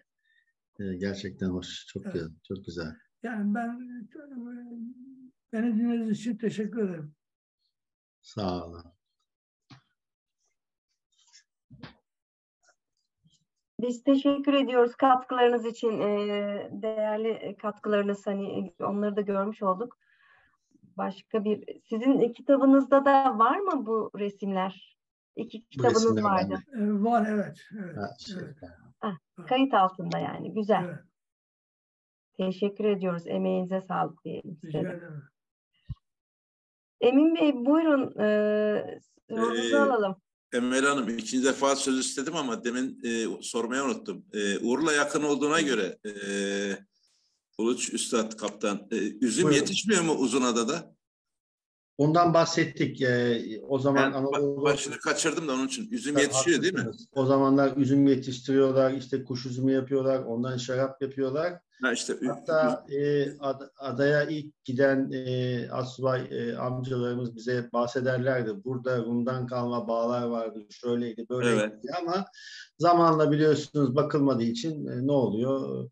E, onlar yaban hale geliyor vesaire. Yani Ye- yeniden bir yatırımcı gelmez mi oraya? Ee, bayağı ham şey orası askeri askeri Evet. ada olduğu için öyle bir şans yok yani askeri Anladım. statüde yani. Tamam. Teşekkürler. Sağ olun. Ben teşekkür ederim. Teşekkür ederiz. Ee, Koray Bey buyurun sorunuzu alalım. Koray Bey. Sesiniz kapalı. Evet Koray Bey e, bağlantı problemi yaşıyor herhalde. Görüntü de gitti. Biraz önce kendisini görüyorduk. Alo, alo, alo. alo. Tamam geldi. buyurun. Ya mikrofonum kapalıymış, parmak kaldırdım. Hepinize iyi akşamlar diliyorum. Uluş Kaptanıma ve katılımcılara da çok çok teşekkür ediyorum. Ee, şöyle bir şey var. Karantina e, adası var Urla'da. Oranın bir turizm açılması için geçtiğimiz dönemlerde hep şey geliyor, gündeme geliyor. Bizim bahsetmiş olduğunuz uzun adada şu an deniz kuvvetlerinin uhdesinde korunuyor ama oranın da e, nasıl ifade edeyim e, her tarafı böyle Türkiye verildiği ve yapılaşmaya açıldığı bir dönemlerde hani çok bir önemi kalmadı denilerek şey yapılabilir mi? Bir yapılaşmaya açılma riski görüyor musunuz? Teşekkür ederim. E, ilk olarak e, karantina adasından bahsettiniz. O karantina adası malumunuz Urla Tahfuzhanesi var. İzmir'in Urla'nın tarihinde e, çok önemli bir yere sahip. Şimdi oraya sağlık müzesi yapıyorlar. E, sağlık müzesi olacak. Gerçekten çok önemli bir yer. Türkiye'nin e, önemli tahfuzhanesi. Bu pandemide de bunu gördük yani o zamanlar nasıl salgın hastalıklarla mücadele. Orası bir sağlık müzesi olarak e, şeyi verildi yani e, ihale edildi ve devam ediyor. Onun adanın diğer tarafında eskiden devlet hastanesi vardı. Devlet hastanesi şu an şeye taşındı. İşte Urla'nın merkezine doğru bir yere, sanayinin oraya taşındı. Oradaki gelişmeleri bilmiyorum ama ben Uzunada için böyle bir tehlike görmüyorum. Yani orası bu şekliyle muhafaza edileceğini e, Muhafaza edilecek. Evet. İnşallah. İnşallah. Teşekkür ederim. Ben teşekkür ederim. Çok sağ olun katkınız için. Teşekkür ederiz katkınız için Koray Bey. Ali Bey merhabalar. Ee, buyurun sorunuzu alalım. Merhabalar efendim. Herkese iyi akşamlar. Uluç Kaptan bu güzel sunumunuz için size çok çok teşekkür ederim. Sağ olun efendim. Konuşmasında Fenercilerden bahsetti. Fener'den. Fenercilerin bir özelliği var. Babadan oğula geçiyor. Evet. Bunların en e, enteresanı ise İstanbul'daki e, e, Ahır Kapı Feneri'dir. Bunların içerisinde e, e, Saitlik diye bir adamcağız e, 1907'de göreve başlıyor. Bu fenerlerde genelde iki kişi oluyor. iki aile daha doğrusu. Daha sonra e, e, Saitlik birinci gardiyanın ikinci gardiyanına eşi oluyor.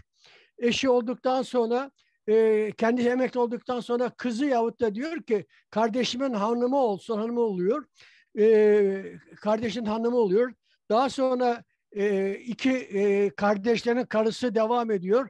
Onlar gittikten sonra bittikten sonra gelinler başlıyor böyle. Ta 1985 yılına kadar bunlar lig ailesi görevde kalıyor. E, ona be- belirtmek istemiştim bir katkı olarak. Teşekkür ediyorum efendim. Ben de teşekkür ederim. Ben şeyi söylemeyi unuttum. Ee, soyadı kanunla kanunuyla ışık soyadını alıyor aile. Yani ışık oradan geliyor. Fenerler de tabii çok güzel e, yani bir denizcilerin gerçekten e, çok sevdiği e, nasıl derler bir can yoldaşı gibi ge- gemide olan bir insanın ama bu maalesef halk arasında veya dizilerde falan yanlış söyleniyor. Deniyor ki işte fenerler efendim yolu aydınlatır. Fener yolu falan aydınlatmaz. Fener oradaki kötü bir yerin, nedir o kötü yer dediğimiz kayalığın, sığlığı ben buradayım der. Gemideki kaptan da, denizci de der ki ha bu sığlık ben buraya girmeyeyim der. Hani öyle bir şey anlamı oluyor. Bunun dışında mesela Karaburun'da bir sarkıncık feneri var. Biz Karaburun çalışmalarında o sarkıncık fenerinin tarihini eğittik. Ama dediğim gibi bir köşede bekliyor da inşallah onu da ele alırız. Efendim ben bir burada küçük bir şey anlatacağım. Datça Burnu'da, Knidos'ta, Knidos Burnu Fener'in e, Fenerci ailenin en son çocuğu ki aşağı yukarı e, 75-80 yaşlarında idi. Bundan 10 sene önce. Onlarla konuşma fırsatı buldum. Hayatları orada geçiyor. O zaman e, sadece gaz yağını pompayla basarak hani eski gaz ocaklarını pompalamak gibi. Ama Evet. pompalar o kadar büyükmüş ki hani ayakla tutulan, elle basılan pompaların daha genişi. E, gündüzleri bizim görevimiz e, o pompalarla depoya hava basmaktı diyor. Gece de gaz yağıyla karışıp ışık verirlermiş. Ben işte o Fenerci ailenin en son e, kuşağıyla tanışmak fırsatı bulmuştum. Bu da Ne ilginç mutlu. bir anıdır. Şimdi malum elektrik, e, güneş enerjisiyle Tabii. tabii. çalışıyor. Bakım falan sadece bakım şu oluyor. E, Datça'da Fenerci vardı o anlatırdı. Eskiden tüpleri değiştirirler. Asetlen tüplerini. Aset yani. Asetlen tüplerini değiştirirler. E, bakım olurmuş zaman zaman. Şimdi bakımlar sadece güneş panellerinin temizlenmesi. Üzerine Evet. martılar konuyor. Martılar kirletiyor. bir tek o panelleri temizlemek. Evet, bir de evet. birkaç sene sonra akülerini değiştirmek gibi oluyor. Onun Doğru. dışında hiçbir bakımı yok. Dolayısıyla Fenerci kalmadı. Yani Datça'da oturan bir genç vardı. İşte 2-3 ayda bir e, orada Fenerlere, Uzuncaada Feneri, Kındos Fener'e gider bu işleri yapardı. Ama daha evvelden aileler orada yaşarmış. Dediğiniz gibi babadan oğula geçiyor. Onu anlat, anlatmak istedim. Teşekkür E, ederim. deni- de- çok teşekkür ederim. Deniz, denizcilikte fenerler gerçekten çok önemli, çok güzel objeler. Bildiğim kadarıyla e, bundan birkaç belki 8-10 sene evvel bunlar kiralandı. Yani kullanılmayan fenerler. O da tabii güzel bir şey. Farklı bir şey. Avustralya'da her sene e, fener şeyi düzenleniyor. Yani fener yarışması diyeyim. İşte hangi fener daha ne bileyim işte daha hoş, daha güzel gibilerinden. Yurt dışında turistik alan haline Tabii, getiriyorlar. turistik alan. Tabii. Turistik alan, turistik yer oluyor ve Kesinlikle. Kesinlikle. turistleri oraya götürüp getirip hem Evet. para kazanıyorlar hem Evet, reklam yapıyorlar. Evet, kesinlikle. İşte bunlar hep konular deniz kültürü. Yani dediğiniz gibi o anıtlar, efendim fenerler vesaire deniz kültürünün öğeleri arasında. Biz, Hatta- biz- bizde de bizde de var canım. Şile feneri falan var. a- Ağır kapı feneri falan buralarda da bir şeyler var yani şimdi. Bütün fenerlerde dağın başındaki her fenerde bize nasıl yapılsın şimdi? Yani bir- biraz e, şey yapmak lazım. Şile feneri falan e, turistik fener içerisinde e, çok güzel sunumlar falan var. Eğer gitmediyseniz bir gitmenizi tavsiye ederim. Bizde de var yani fenerleri şey yapışı. E, müze haline getirilmiştir. Evet. Yeni Hat- yeni. Hatta o tanıştığım e, Kındos Fener'in e, çocuğu ama tabii yaşlı şu anda. O söylediğine göre e, bir gemi geçerken, bir deniz vasıtası geçerken çıkıp el sallarlarmış. Yani günde bir iki tane geçermiş o tarihlerde. Şimdi diyor o, o usul adet devam etse diyor tepeden aşağı inmemiz mümkün değil diyor. Doğru. Bizim evet. bizim köyümüzde falan hala e, yani çok Türk bayraklı gemi geçtiği zaman artık çok geçiyor da biraz o yüzden hala sahile çıkıp Türk bayrağı falan sallanır. E, İnebolu e, şey e, gemi falan selamlardı. E, ben de Karadeniz çıktığımda bazen öyle yakın geçerdim. Biz de öyle düdüğümüzle falan gemi düdüğüyle falan şehrimizi selamlardık. Yani e, tabii denizci, denizcilik kültürünün yaygın olduğu şehirlerde bunlar hala var kesimlerde. Ama ölüyor. e, Kalmadı bir şey. İnebolu'ya, gittiğinizde biz Bahriyeli olarak gittiğimiz zaman taksi şoförleri falan bize para ödetmezlerdi üniformalı olarak dolaşırken. Yani öyle bir e, denizcilik kültürü olan bir şehir yani. Araya girdim. Kusura bakmayın. Yok, e, yok çok güzel oldu değerli katkılarınız. Türk halkı gerçekten çok âli cenap, e, gönlü e, zengin. Askere e, hürmeti çok bambaşka idi. E, hala e, da öyle olduğunu umut edelim. diyorum. E, katkılarınız için teşekkür ediyorum. Levent Bey sizi e, ev sahibi konumunuzdan dolayı bekleteceğim. Koray Bey sizin bir sorunuzu aldık. İkinci soruyu almadan önce Arif Bey'e e, söz vermek istiyorum müsaadenizle. Arif Bey buyurun. Ha, merhabalar. Çok teşekkür ediyorum bu akşamki sunum için. Ben de konu fenerler açılınca e, dün Hoşköy Feneri'ndeydim. Hoşköy Feneri'ni Kıyı Emniyeti Genel Müdürlüğü ihale etmiş bir hanıma. Hanım da şartlarına uygun vaziyette boncuk gibi restore etmiş. 160 yıllık bir fener yapısı. Ee, bir Hoşköy Feneri'nin diğer fenerlerden özelliği prefabrik Lego gibi döküm malzemeden e, hazırlanmış, 160 sene önce getirilmiş, yerine konulmuş. Benzer fener de Marmara Ereğlisi fenerimiz de aynı şekilde. Marmara Ereğlisi yarısı kadar yalnız Hoşköy'ün.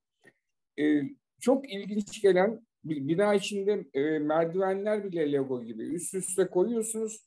Hem e, ana direğini oluşturuyor şeyin fener, fener binasının 20 metrelik fener binasının hem de basamakları oluşturuyor. Onun üzerine binayı yapmışlar.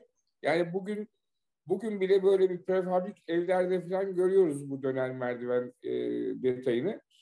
Günün uzunluğuna göre ağırlığı yukarıya kurup o günün uzunluğu neyse fenerci onu hesap ediyor. Onun ağırlığını yukarıdan ağırlık olarak takıyor. Aşağı doğru ağırlık inerken fener yapısının dönmesini sağlıyor. Ve bu arada da 160 yıllık bu teknolojide devasa bir mercek yapısı var yukarıda. Bu mercek yapısının bir yere sürtünmeden dönmesi için bir civa havuzu yapmışlar. Civa havuzunun üzerinde bu büyük yapı mercekler yüzüyorlar. Yani teknolojiye bakar mısınız? Nasıl bir e, buharlaşma da yok gayet tabii. Ya, e, sürtünme yok. Müthiş, e, çok etkilendim. E, paylaşmak istedim bunu da sizlerle. Çok Arif Bey, teşekkürler. Hoşgörü Feneri nerede acaba? Hemen e, Ferhat Bey de O sorsun. Hoşköy Feneri e, Şarköy'den Mürefte sırasında. E, en eski fenerlerden bir tanesi. Bunu zaten Michel Paşa'nın yapmış olduğu fenerler bunlar. Bu arada da, e, fenerin sahibesi olan hanıma da bendeki bilgileri aktardım. Michel Paşa'nın e, İstanbul'da Beyoğlu'nda apartmanı var. Michel Paşa apartmanı diye. Kı- Kıyı Emniyeti kiralamış mı? Kıyı Emniyetinden kiralanmış doğru mu? Amirim kıyı emniyetten kiralamışlar. Bütün bakımı tutumu da kiralayan kişiye 6500 lira aylık veriyor hanımefendi. E, bina Ne, tarafı- ne yapmış? Ne yapmış orayı? Yani müze olarak mı şey yapıyor ya da öyle bir yani kafe mafe gibi bir şey mi yapmış? Ne yapmış? kafe aralık yapmamış bu kadıncağız. Biraz varlıklı.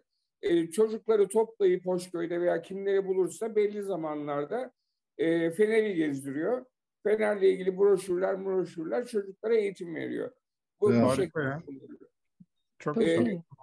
Şurada yalnız ben e, bir fırsat bulduğumda onu konuşacağım. Şu, e, bakım tutumunu da e, bu kiralayan kişiye vermişler ve eline de bir proje vermişler. Bu- Bir, bir mimarlık e, bürosu e, bir bedel karşılığında neyin nasıl tadil edileceğini belirtmiş vermişler.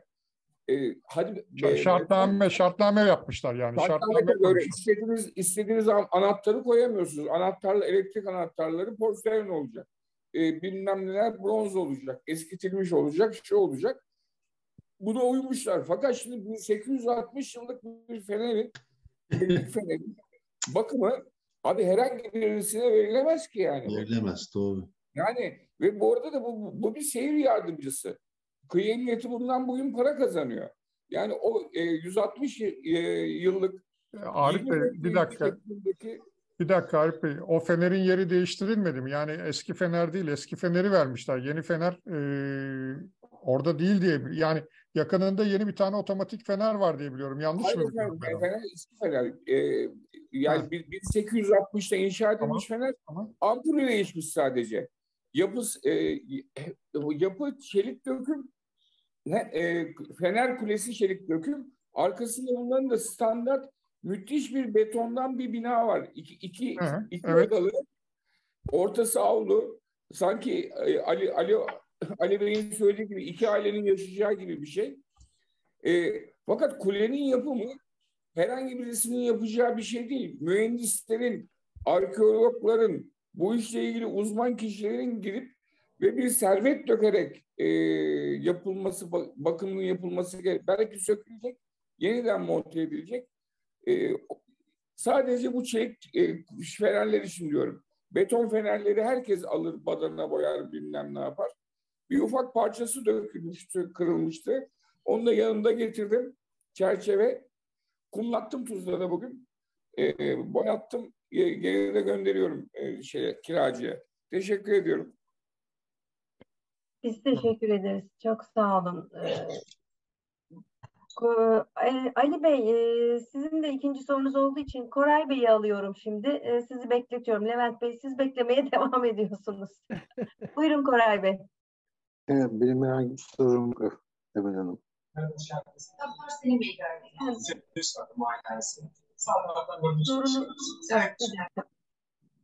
Öcal Bey, e, sesiniz açıktı, kapattım ben.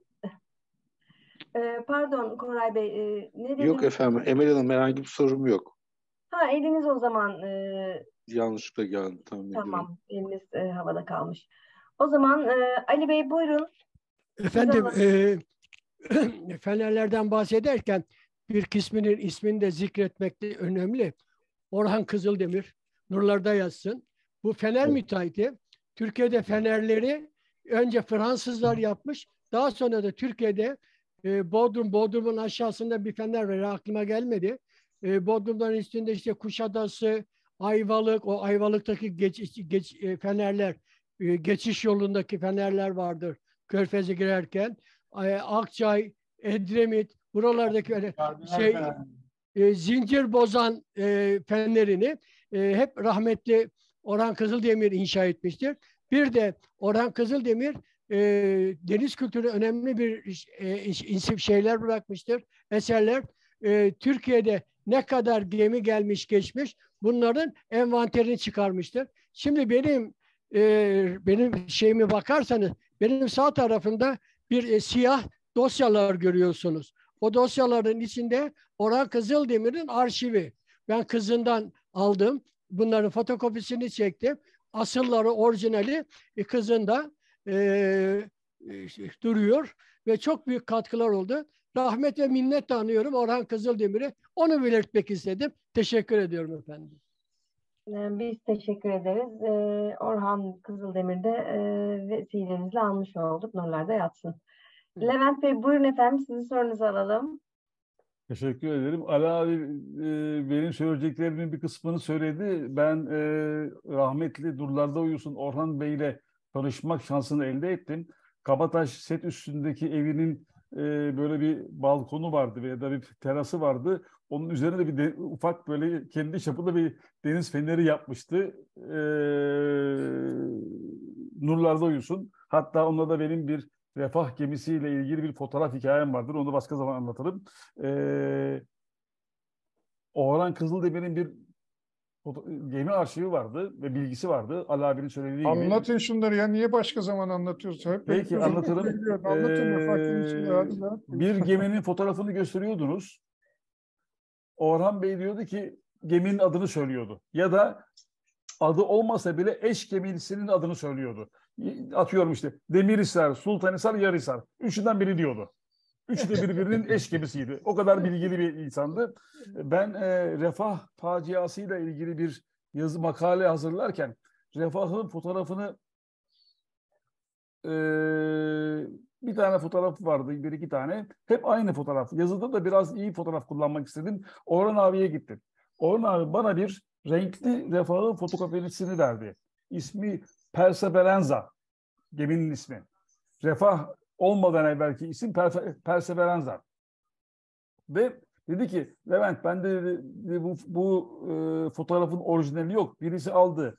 Geri getirmedi. Tek bir tane renkli fotokopisi var. Aman dedi gözünü seveyim al kullan bana fotokopiyi getir. Peki abi dedim. Aldım gittim. Yazında fotoğrafı kullandım. Sonra bana emanet ettiği fotokopiyi bulamıyorum. Eyvah. Deli olacağım.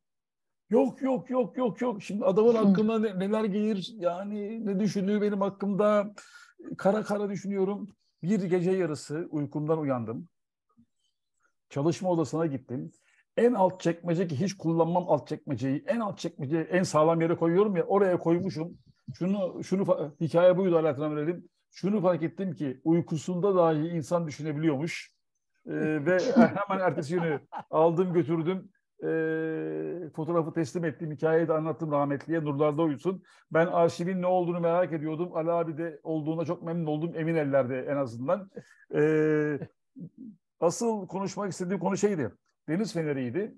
Ee, kıyı emniyet deniz fenerlerini biraz evvel Arif'in söylediği gibi e, isteyene kiralıyordu, ihale ediyordu. Belli süreli kiralıyorsunuz. Ben de e, Bozcaada'daki Polen tefelerine gitmiştim. Baktım ki benden evvel birileri orayı kiralamış. Hatta adam böyle içeriye bir ayaklı bir pencerenin önüne bir küvet koymuş. Ayaklı böyle E- Ege Denizi'ne karşı önünde hiçbir şey yok. Orada yıkanıyor falan böyle. Çok hoşuma gitmişti. Deniz e, kıyı emniyete müracaat ettim. Tabii küvet koymak için değil. Bir fener kiralayabilir miyim diye. Bana Sarpıncık fenerini önermişlerdi. Biraz evvel e, Ulus Kaptan'ın evet, Sarpıncık fenerler. Sonra ben atladım İstanbul'dan e, Karaburun'daki Sarpıncık Fenerine gittim. Hatta o zamanki Sarp- Sarpıncık muhtarınla falan tanıştım. E, fakat Sarpıncık Fenerinin e, yerleşim yeri yer. yok. Yerleşim yeri çok safa bir yer. Böyle bir yamaçta. Bir de manzarası çok güzel ama hani orada e, ikamet edecek bir alan Zor. çok zor. O yüzden istememiştim. Benim söylemek istediğim buydu. Yani Sarpıncık Feneri'yle de böyle bir hikayem var. Teşekkür ederim. Sarpıncı'nın hikayesi bende. Yapılımı hikayesi. Ee, büyük bir ihtimalle eğer Cumhuriyet dönemi ise Orhan Kızıldemir yapmıştır. Evet doğru. Evet. Doğru. Mahmut Karasaban'dan da bahsetmek lazım. Ee, Çağdaş'ı Mahmut Karasaban da bütün iskeleleri yapıyor o dönemde. Ee, Marmara'da e, ve etrafta yapılan iskeleleri. Mahmut Karasaban'ın oğlu Şevket Karasaban e, hala yaşıyor. Fakat ne yazık ki hiçbir doküman bulamadım ondan. Evet. Ben Ali Bey'de şimdi- vardır belki. Ali Bey bizim e, ayaklı e, döküman kütüphanemiz. Teşekkür ediyoruz kendisine. Valla e, bir katkımız oluyorsa kendimi mutlu addederim. E, hiçbir beklentim de yok. Yeter ki toplumu doğru bilgilendirilsin. Amacım, hedefim bu. Sizin koleksiyonerliğiniz e, çok kıymetli. Sağ olun. Siz de sağ olun, var olun. Alaaddin Ömür e, buyurun. Aa, teşekkür ederim. Ee, tabii e, sohbet bölümüyle beraber aslında çok da soru birikti. Şimdi burada önemli bir konu var. Aslında e, ortaya çıktı bu sohbette. E, buradaki e, sunucuların Uluç Bey'in e, ve e, diğer Ali Bey'in mesela katkıda bulunanların çok değerli arşivleri var. Bu arşivleri ne yapmayı düşünüyorlar? Önce ben onlara bir sorayım. Yani bu arşivler böyle, e, bende de var bazı şeyler. Mesela Deniz Müzesi'ne falan teslim etmeyi düşünüyorum. Kendim envanterini çıkartıp onları teslim edeceğim. Eğer bilmiyorum şey yaparlarsa. Çünkü envantersiz verildiler mi de ne olduğu belli olmuyor en azından. E, envanter olsun diye düşünüyorum. Ama bu arşivler çocuklara bırakılırsa çocuklar hepsi değerlerini bilmiyorlar. Sonra e, öyle bit pazarlarını falan antikacıları falan dolaştığımda çok üzüntü verici e, şeyler görebiliyor insan. Yani bu arşivleri e, topladıkları arşivleri ne yapmayı düşünüyorlar kendileri diye bir sorabilir miyim? Yani ben e, bu soru ortaya bir soru sadece e, Uluç Bey değil bu arada da sunum için de çok Cevap teşekkür ederim. verebilir Çok miyim güzeldi. efendim? Çok. Cevap teşekkür ederim. Efendim moderatör tamam buyurun. Tamam. Tabii tabii, buyurun, buyurun Ee, Ali Bey. Amiralim, e, hala umudum e, Sivil Denizcilik Müzesi'nin açılmasından yana. Eğer böyle bir Sivil Denizcilik Müzesi açıldığı an bu arşivlerimi, e, bu birikimlerimi oraya vereceğim. Düşünebiliyor musun? Bende Savarano'nun orijinal resimleri var. Albüm Efendim olarak. en- envanteriniz var mı envanteriniz? Envanter çıkarmadım amiralim. Ama eksikliği Çıkartın. bu benim. Ama çıkartın efendim. Fotoğrafları falan da olsun. Niçin söylüyorum biliyor musunuz? Envantersiz sandıklara koyup götürürsünüz. Ondan sonra Evet. müze müdürlerinin evlerinde, bahçelerinde bir yerlerde çıkmasın diye söylüyorum. Lütfen Evet. envanterini çıkartın. Yani ne teslim Evet. edildiği bilinsin efendim sizin de. Akrabalarınızın. üç tane feribot e, Ankara, Samsun, ikisi biliyorsun Hurda'ya gitti. İskenderun'da askeriyede ondan Evet. sonra. Bunların o e, resimleri, in, e, Kızak'tan inerken bir şeyleri. Onlar da bende. Ama hep e, sivil denizcilik müzesi ama devlet açılmışsa onlara vereceğim. Canı gönülden vereceğim. Ben de biliyorum e, çocukların e, böyle babamla ne biriktirmiş deyip de sokağa attığı çok büyük envanter kaybımızın olduğunu da biliyorum efendim. Resimli olsun, bilgi de olsun, belge ve kitap da olsun. Evet, ama envanterini yani yardımcı da olalım şey yapalım yani böyle resimlerini falan çekerekten bir envanteriniz bence olsun Çok yani ne- ne- nereye nereye ne teslim edildiğinin bir yerde muhakkak bir kaydı olsun. Evet, evet. Ondan sonra e, padişahların tahtları bile evlerde sedir olarak kullanılıyor. Yani birilerinin evlerinde çekiliyor. Var mı Saurona'dan? E, yani burada herkesin suçu var. Evet. Saurona'nın e, geldiği zamanki bu e, mobil şey eşyalarının şeyi var mı?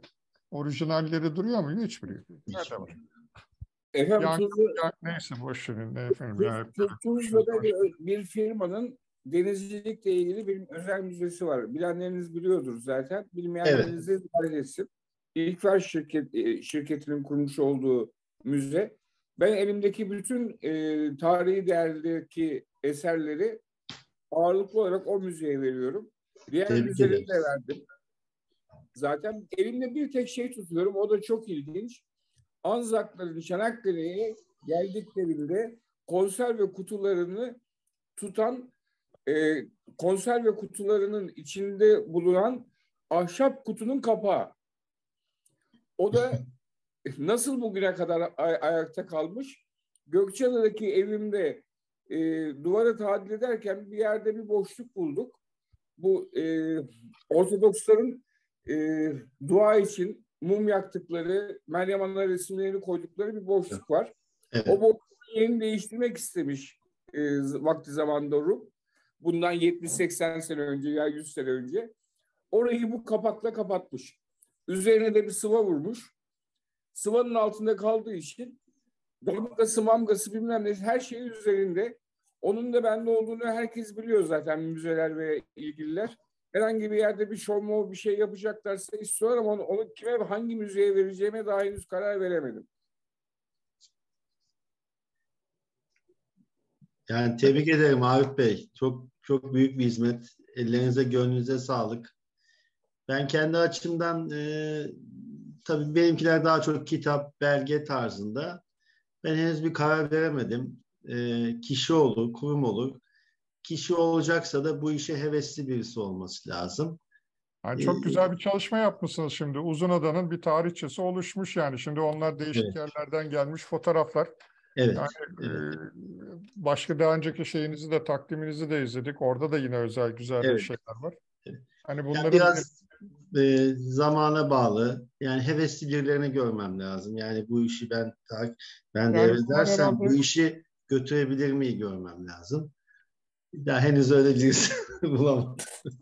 Biraz da ben titiz olduğumdan da olabilir müzeler ama herhalde yine en ideal yerler diye düşünüyorum. Yani bu tip şeylerin e, değerlendirilmesi açısından. orada biraz benim şeylerim var. Bazı çekincelerim var. Bakalım artık inşallah. Yani Şey- araştırmacıların e, uğraşa, ulaşabileceği e, bir yerlerde olması da uygun olur diye düşünüyorum ama e, Çok doğru. Çünkü bilgiler malumunuz bir yerden başlıyorsunuz, o onun üzerine koyuyor, üzerine koyuyor, o şekilde gidiyor.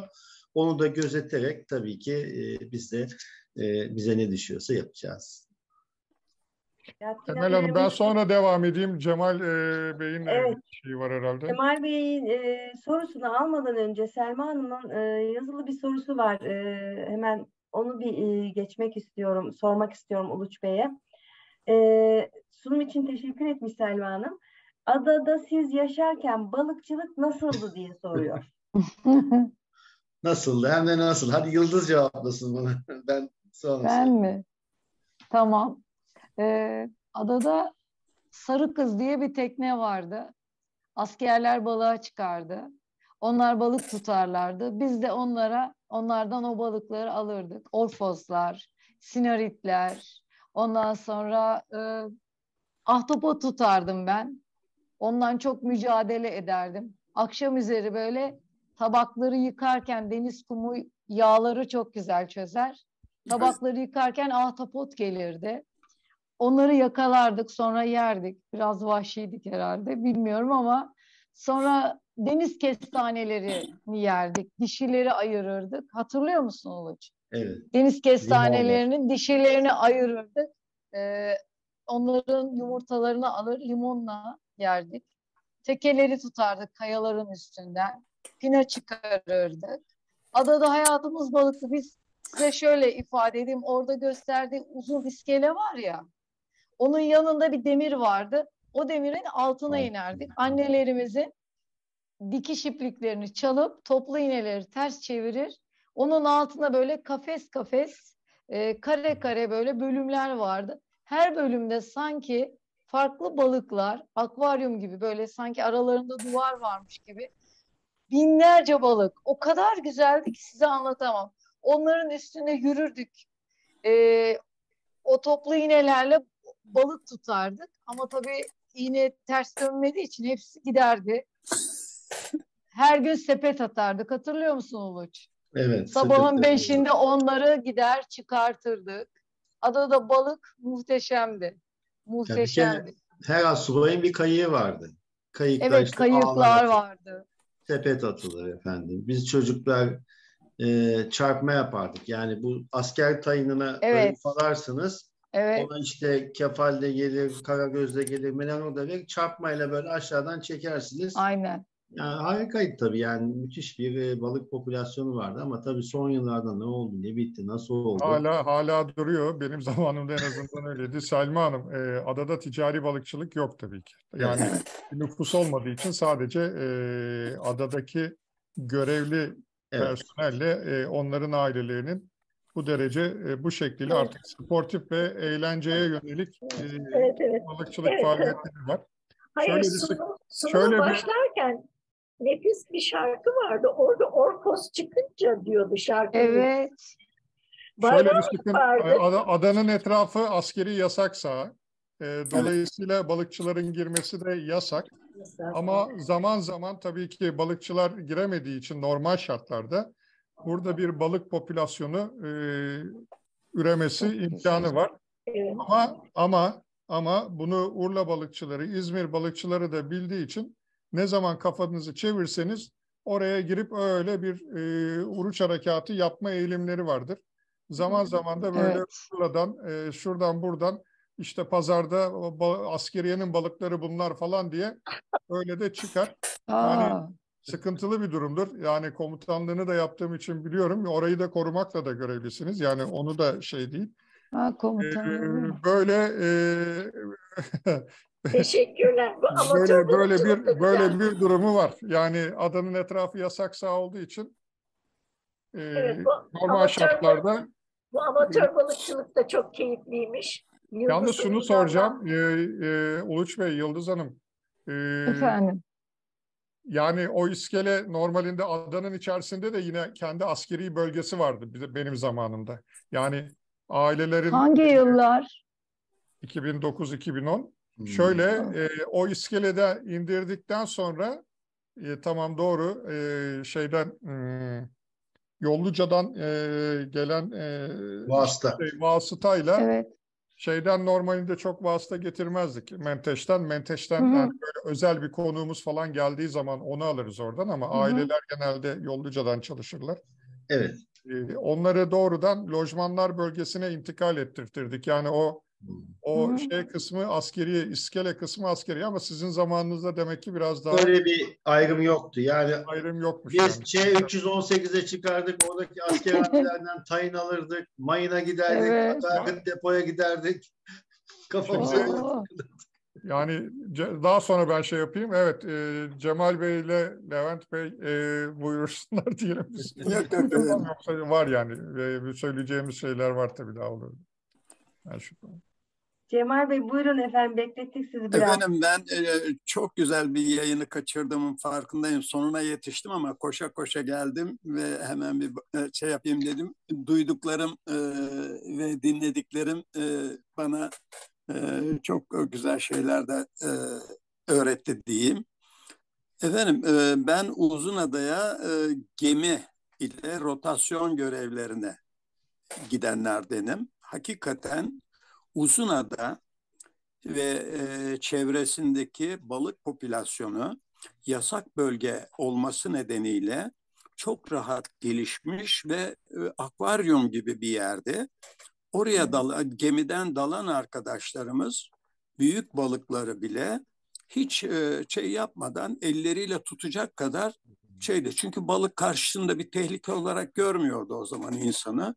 Böyle o balığı çok rahatlıkla yakalayabiliyordunuz.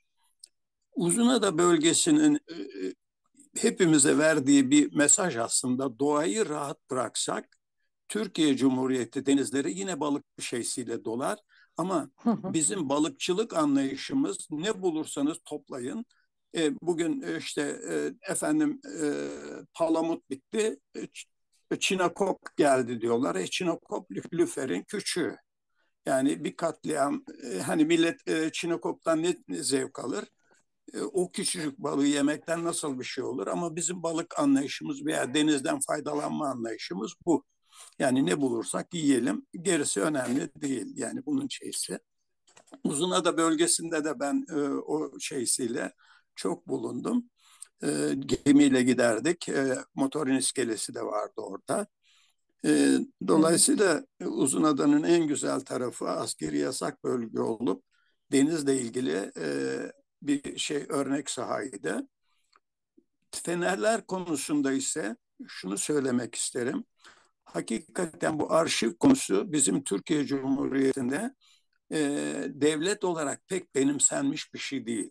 Lalahan'daki arşivlerin bile hurda kağıt niteliğinde satılıp ondan sonra bir Bulgaristan'a veya Romanya'ya kadar gittiğini de duymuştum ve çok üzülmüştüm buna. Çünkü bizim e, şeylerimizde e, bu gemilerde tutulan jurnallar dahil belli bir süre sonra sandık, sandıklanır. İkmal merkezlerin, e, ikmal denetlemelerinde tutulan kayıtlar, e, alınan şey raporlar o sandıkların içine konur, lanağına gider. Onların e, o türlü yerlerdeki şeylerin satıldıklarını ve hurda kağıt olarak satıldıklarını duymuştum ki dediğiniz gibi yani bu şekilde giden şeyler nerelere kadar gidiyor? Ondan sonra hurda kağıt e, işlemi görüyor. Bu çok üzücü.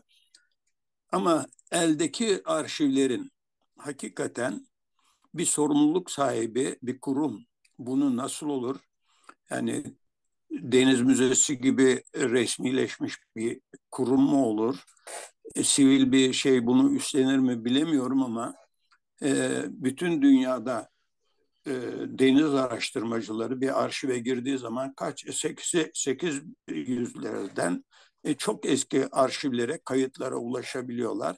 Biz de bunu yapabilir miyiz bilemiyorum. Ama bunu e, bir sorumluluk sahibi üstlense çok güzel olur.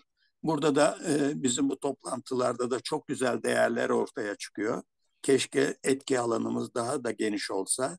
Biraz da resmi nitelik taşıyan, resmi ve sorumluluk kimlik taşıyan insanlar da bunlardan nasibini alsa da sorumluluk üstlense. E, katkılar için çok teşekkür ediyorum. Ben bu toplantılardan çok güzel şeyler alıyorum ve çok güzel şeyler öğreniyorum. Teşekkürler. Biz Ben bir şey. İyi ki varsınız. Sağ olun bu mukabele sizler de öyle.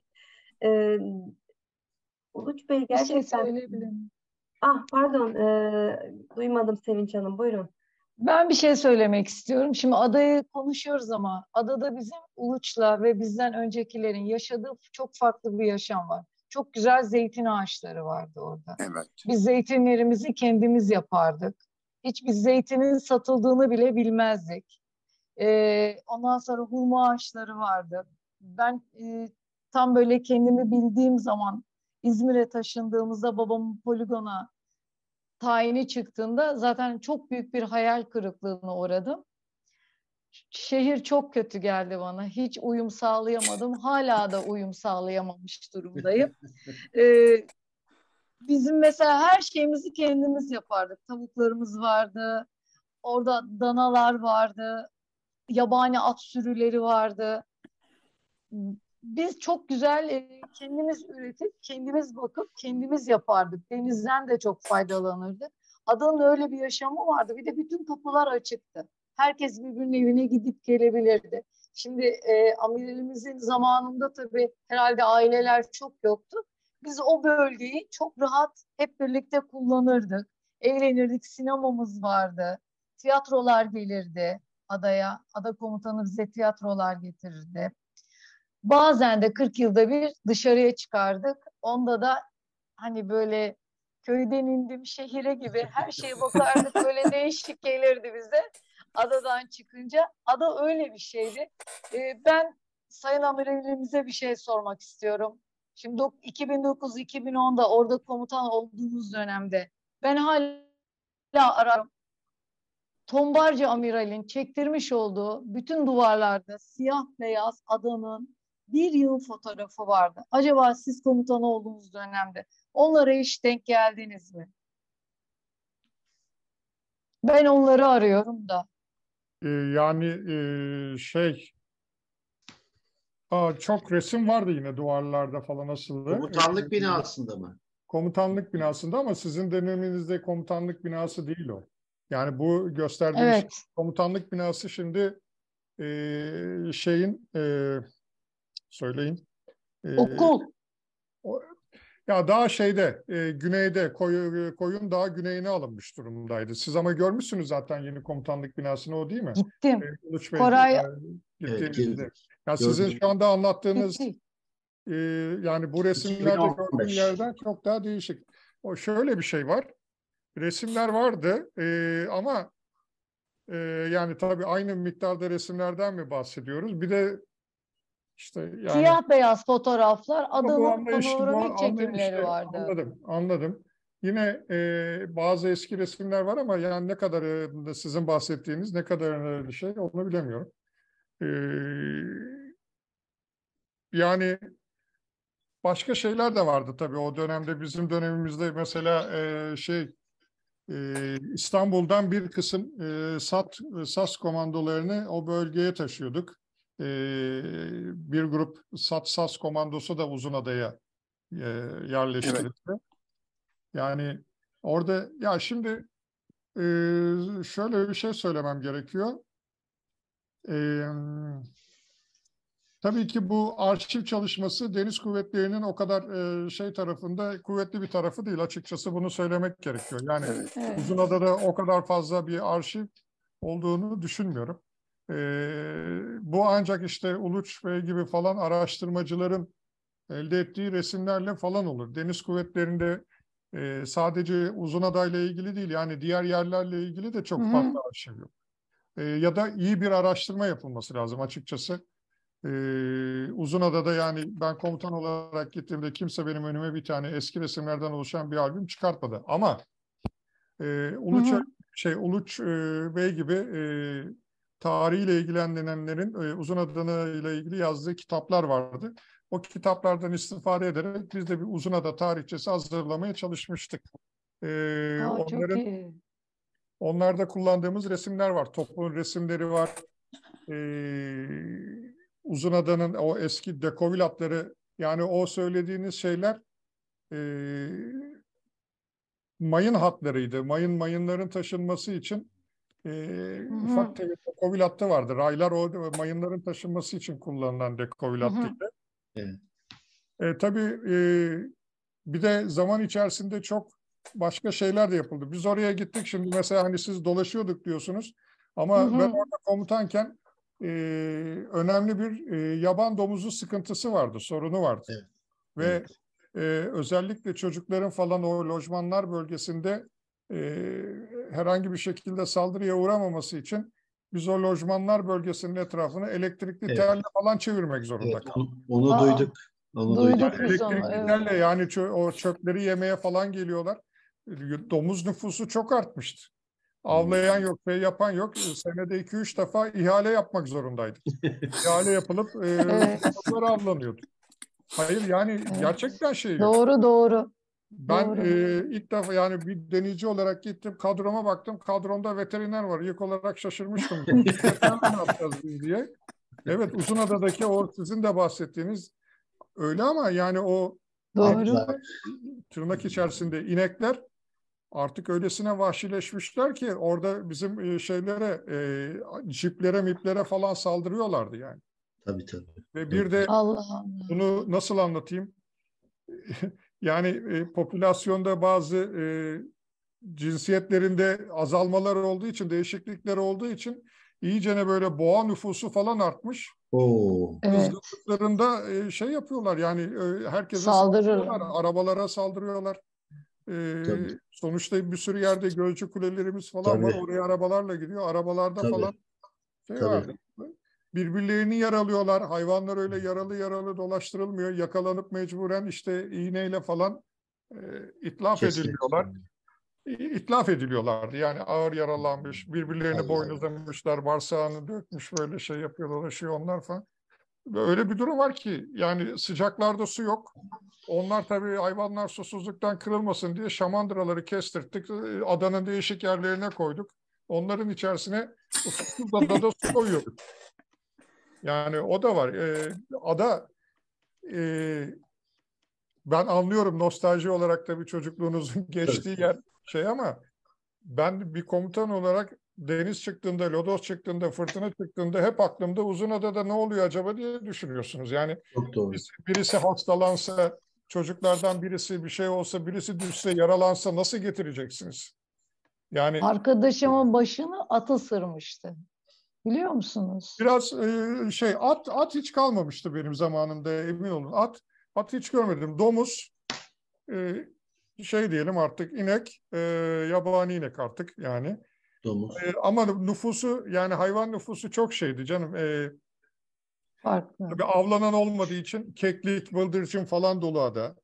E, balık nüfusu dediğim gibi şey. Yani o manada ama şeyler falan iyicene vahşileşmiş tabii. Zeytin, meytin falan gibi bir şey yok. Asma hiç görmedim. Asmayı zaten hayvanlar bırakmamışlardır. Yerler. Domuz, domuz zaten bırakmaz onu. Yani Kesinlikle. o şey yapar. Köklerini. Yabani at sürüsü vardı. Yoktu. Biz At- çocukken yabani at sürüsü vardı. Bir şekliyle Biz onu- herhalde bir şeyler yapılmış ya da bilmiyorum belki zaman içerisinde kaybolmuş. At hiç yoktu ama e, biz bile mesela ben rotasyona e, oranın komutanı olmadan önce rotasyona Hı hı. gemiyle gittiğim zaman gece oldu mu artık gemiden çıkmazdık. Yani iskelenin ucundan domuz bağırtılarını duyuyorsunuz. E, öyle bir e, yani şeyi var. Şöyle söyleyeyim, bakın e, açıkça şunu söylemek de lazım. Uzunada şu an için deniz kuvvetleri açısından benim bildiğim kadarıyla bir gereklilik değil. Ama e, bir talebi olmadığı için deniz kuvvetleri burayı sahiplenmiş durumda ve deniz kuvvetleri burayı şey yapıyor, e, muhafaza ediyor. Yani ama deniz kuvvetlerinin burada e, vazgeçilmez bir tesisi yok şu anda. Bunu da söylemem lazım. Zaman içer yani yani burada e, bir tarafında Karaburun, bir tarafında Foça zaten böyle Türkiye'nin iki tarafı sarmalamış şeyi. Yani böyle bir hani İzmir'in savunması vesaire gibi bir sebep için Uzunada'ya falan çok fazla ihtiyaç yok şimdi. Ama bir, bir Efendim? talep de yok. Bir talep de yok. Yani bir nüfus gelsin buraya yerleşsin böyle bir talep olsa şey olur. Ama e, yani biz Gökçeada'yı, Bozcaada'daki nüfusu bile sizler de biliyorsunuz yani. Zor koruyoruz yani. E, Türkiye'den göçler alındı, Türkiye'den göçler götürüldü. Ve onlara önemli devlet desteği vererek tutuyoruz orada. Ya Yunanlı da aynı şekilde adalardaki nüfusa çok devlet desteği vermek zorunda. Onlar da öyle veriyorlar. Hayır yani e, bir talep yok. E, yani e, adaya yerleşeyim de burada zeyt ha neler olabilir? Bunlar düşünün. Rüzgar jeneratörü tarlaları yaparsınız. Çok acayip rüzgarı var mesela o Evet, Evet. evet, şey evet. için kullanılabilir. Başka e, balık çiftlikleri falan çok sevmiyorum bunu ama yani aklıma geldi şimdi balık çiftlikleri ekolojiyi çok Ama rüzgar paneli en güzel şey Alaaddin Amirali. yani aklıma geldi efendim. Şimdi Evet, e, evet. böyle bir yatırım yaparak orayı değerlendirmek istiyorsanız Efendim akaryakıt iskelesi devam etmiyor mu? ediyor, ediyor. Ediyor değil mi? Bir tek o fonksiyonu var yani oradan. Yani var. iki üç tane iskele var. Mayın iskelesi vardı evvelden. Evet. Yani Hı hı. e, oraya da yanaşabilir. Oraya ama çok küçük tekneler yanaşıyor. Biz hiç kullanmıyorduk orayı. Hücum Ee, botlarla biz yanaşıp kalkıyorduk. Evet. Yani bir zamanlar açıkça söyleyeyim NATO çerçevesinde Türkiye ilk geldiğinde NATO'ya Türkiye'ye bir görev verilmiş. Yani müttefik kuvvetler yetişene kadar neresi varsa her tarafı mayınla. İzmir'de mayın depoları var. Uzunada'da eski mayın depoları var. Şu anda hiçbir fonksiyonları yok. Hepsi sadece ambar mambar gibi falan diye kullanıyor. Dağların içerisine dünyanın Evet, mayın deposu. Ereğli'de var, her yerde var. Ama şimdi bunlar yok. Yani Uzunada'ya bir başka talep varsa Ha, niçin mesela şeyler için falan güzel bir yer olarak çıktı. Özellikle Sassat komandoları için işte Levent Bey de dalgıç tabii o da şey yapabilir. Yani mevsim sıcak, e, sıcak zamanlar daha fazla oluyor. E, daha uzun süre eğitim bir periyodu, eğitim için daha uzun süre zaman ayrılabiliyor, şey yapılabiliyor. E, böyle şeyler var ama uzun adayı desteklemek. Ben komutanken oraya bir ilave vasıta Evet. daha bulabilmek için çok uğraştık. E, ayrılırken sonuçta bir ilave daha vasıta getirebildim. Yani siz e, bunu düşünmek lazım. Bu çocuklar mesela Tabii. Daha çok uzmanlar ve astsubayların çocukları kalıyordu oradaki lojmanlarda.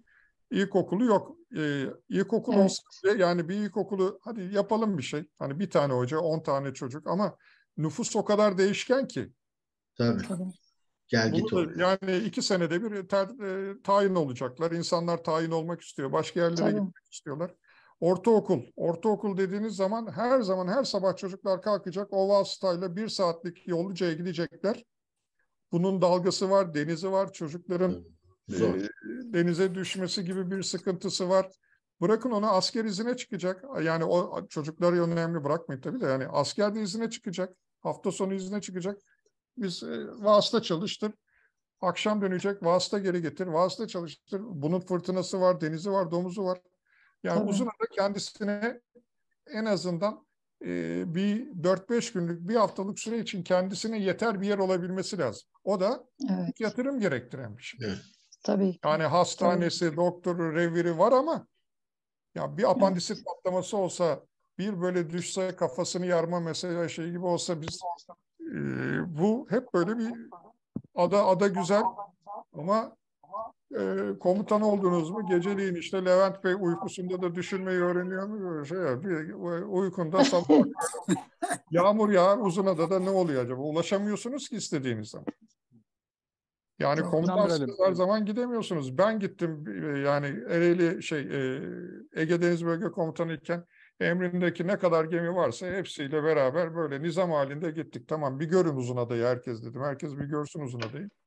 Biz gittik, bağladık, Lodos çıktı. O iskelede barınmamız bile zor. Yani gemiler birbirlerinin üzerine vura vura ya, küpeşleri basmaya başladılar, e, parçalamaya başladılar. Ama herkes bir uzun adayı gördü. Ben de ge- dönemedik mesela. Biz kaldık iki gün orada kaldık. Telsizle idare ettik komutanlığı. Dolayısıyla yani uzun adaya bir talep olsa e, hani böyle yerleşime açalım, başka şeyler yapalım diye yani birlikte bile kullanılabilir. Ya uzun adanın hepsi deniz kuvvetlerine ait olacak diye bir şey yok. Bir tarafı yani şey mesela e, İsa Reis burnunu sadece biz şimdi e, atış alanı olarak kullanıyoruz. Orası hani Hı hı. gelip oraya o zaman öyleydi. Şimdi hala benim zamanımda öyleydi. Şimdi hala öyle yapıyor muyuz onu bilmiyorum. Yani e, sahile e, atış için falan kullanıyorduk o zaman. Kablo koyu e, işte de anlattı Uluç Bey e, iki Demir tane şey, iki tane iki tane Erbakan. bungalov var orada. Er birisi Erbakan ismi, diğeri de Türkeş diye. Türkeş. Onlar orada misafir. Bende fotoğrafları var. Bende Evet. var fotoğrafları. Yani ben de kaldım orada bir, bir tanesinde bir gece e, böyle bir şey diye.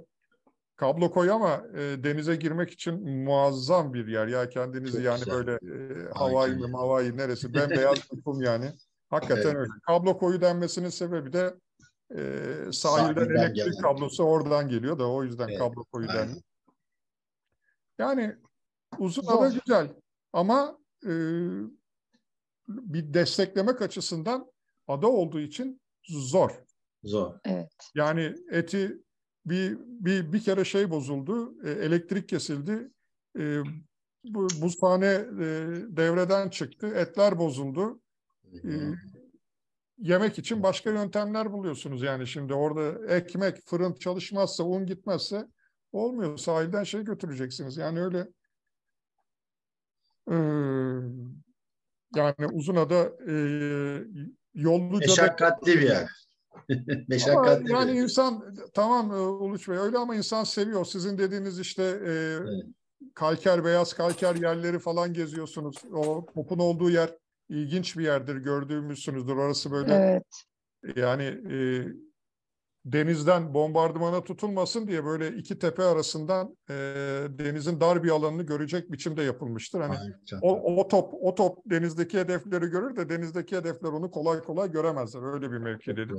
Evet. O top da Çanakkale'den gelme. İşte dediğiniz gibi e, Lozan Anlaşması imzalanıp da Boğazların iki tarafı silahsız bölge yapılınca oralardaki toplar taşınmışlar şeye dağıtılmış Türkiye'nin değişik yerlerine. O Menteş'teki iki top da e, daha sonra Çanakkale'ye döndü. Çanakkale'ye döndürüldü. Şu e, bu daha fazla konuşmayacağım da bir tek şeyi söyleyeyim. Şu Liman Van Sonders'in siz de bahsettiniz. Türkiye'de 5 yıl diye kitabı. Evet. Burada e, şeyden bahseder ama Liman Van Sonders e, şeyde Birinci Dünya Savaşı'nda burada yapılan ne kadar iş varsa hepsini Almanlara bağlar. Alman ve Avusturyalılara evet. bağlar. Ben onu burada da zaten hatta, iyi işler onların da kötü işler bizim. Ya ama efendim yani daha evvel mesela bu grupta şeyin de sunumunu yaptık biliyorsunuz. E, Meis Adası'nda batırılan uçak gemisi diye. Onu bile Almanlara bağlar. Burada yazar şeye. E, işte burada da diyor işte 1917 yılının başında işte Akdeniz'de Meis Adası limanına ateş baskını yaptırdık. Almanlar da bu işte diyor işte şu Almanları saymış adlarını. Süvari ön yüzbaşı Schuler, Üsteğmen Heffelberger, topçu kumandan binbaşı Schmidt Kalbov, yüzbaşı İtman'a aittir diyor. Evet. O, o yani o Meis Adası'ndaki batırdığımız o uçak gemisi vesaire e, onu bile Almanlar almış. Burada da işte şeyi yazmış. E, bir, uzun adanın alınışını da yazmış. Hatta şeyi göstereceğim size. E, müsaadenizle bir dakika. E, sayfayı biraz karıştırdım herhalde. E, bir dakika. Şu Orada haritayı vermiş. Tam da e, Uluç Bey'in söylediği gibi bizim e, e, romorkörlerle e, İngiliz gemilerinin e, şeyhatlarını vermiş. E, dolaşma nasıl nasıl karakol yaptıklarını çizmiş. E, Neyse siz e, şey yapın da ben bulayım ondan sonra göstereyim. E, kitabın şey uzun. Ama burada Nusret'i Almanlara bağlar. E, yani Çanakkale Savaşlarını. Golyat'ın batırılmasını yine bir Alman, e, Alman'ın e, şeyini yapar. Reklamını yapar. Ondan sonra ha, az önce bahsedildi ya e, işte e, Batı Anadolu'daki e, Rumların boşaltılması işini evet. e, kendisinin bunda hiçbir şeyinin olmadığını hatta İzmir'deki Rumların gelip kendisine bu konuda ricacı olduklarını ve onları koruyucu tedbirler aldığını falan da söyler. Hepsini ve yani tam böyle Türkleri getirir. Tabii. E, ateşin ortasına bırakır yani öylesine evet. şey yapıyor. E, ben de çok konuştum. E, teşekkür ederim.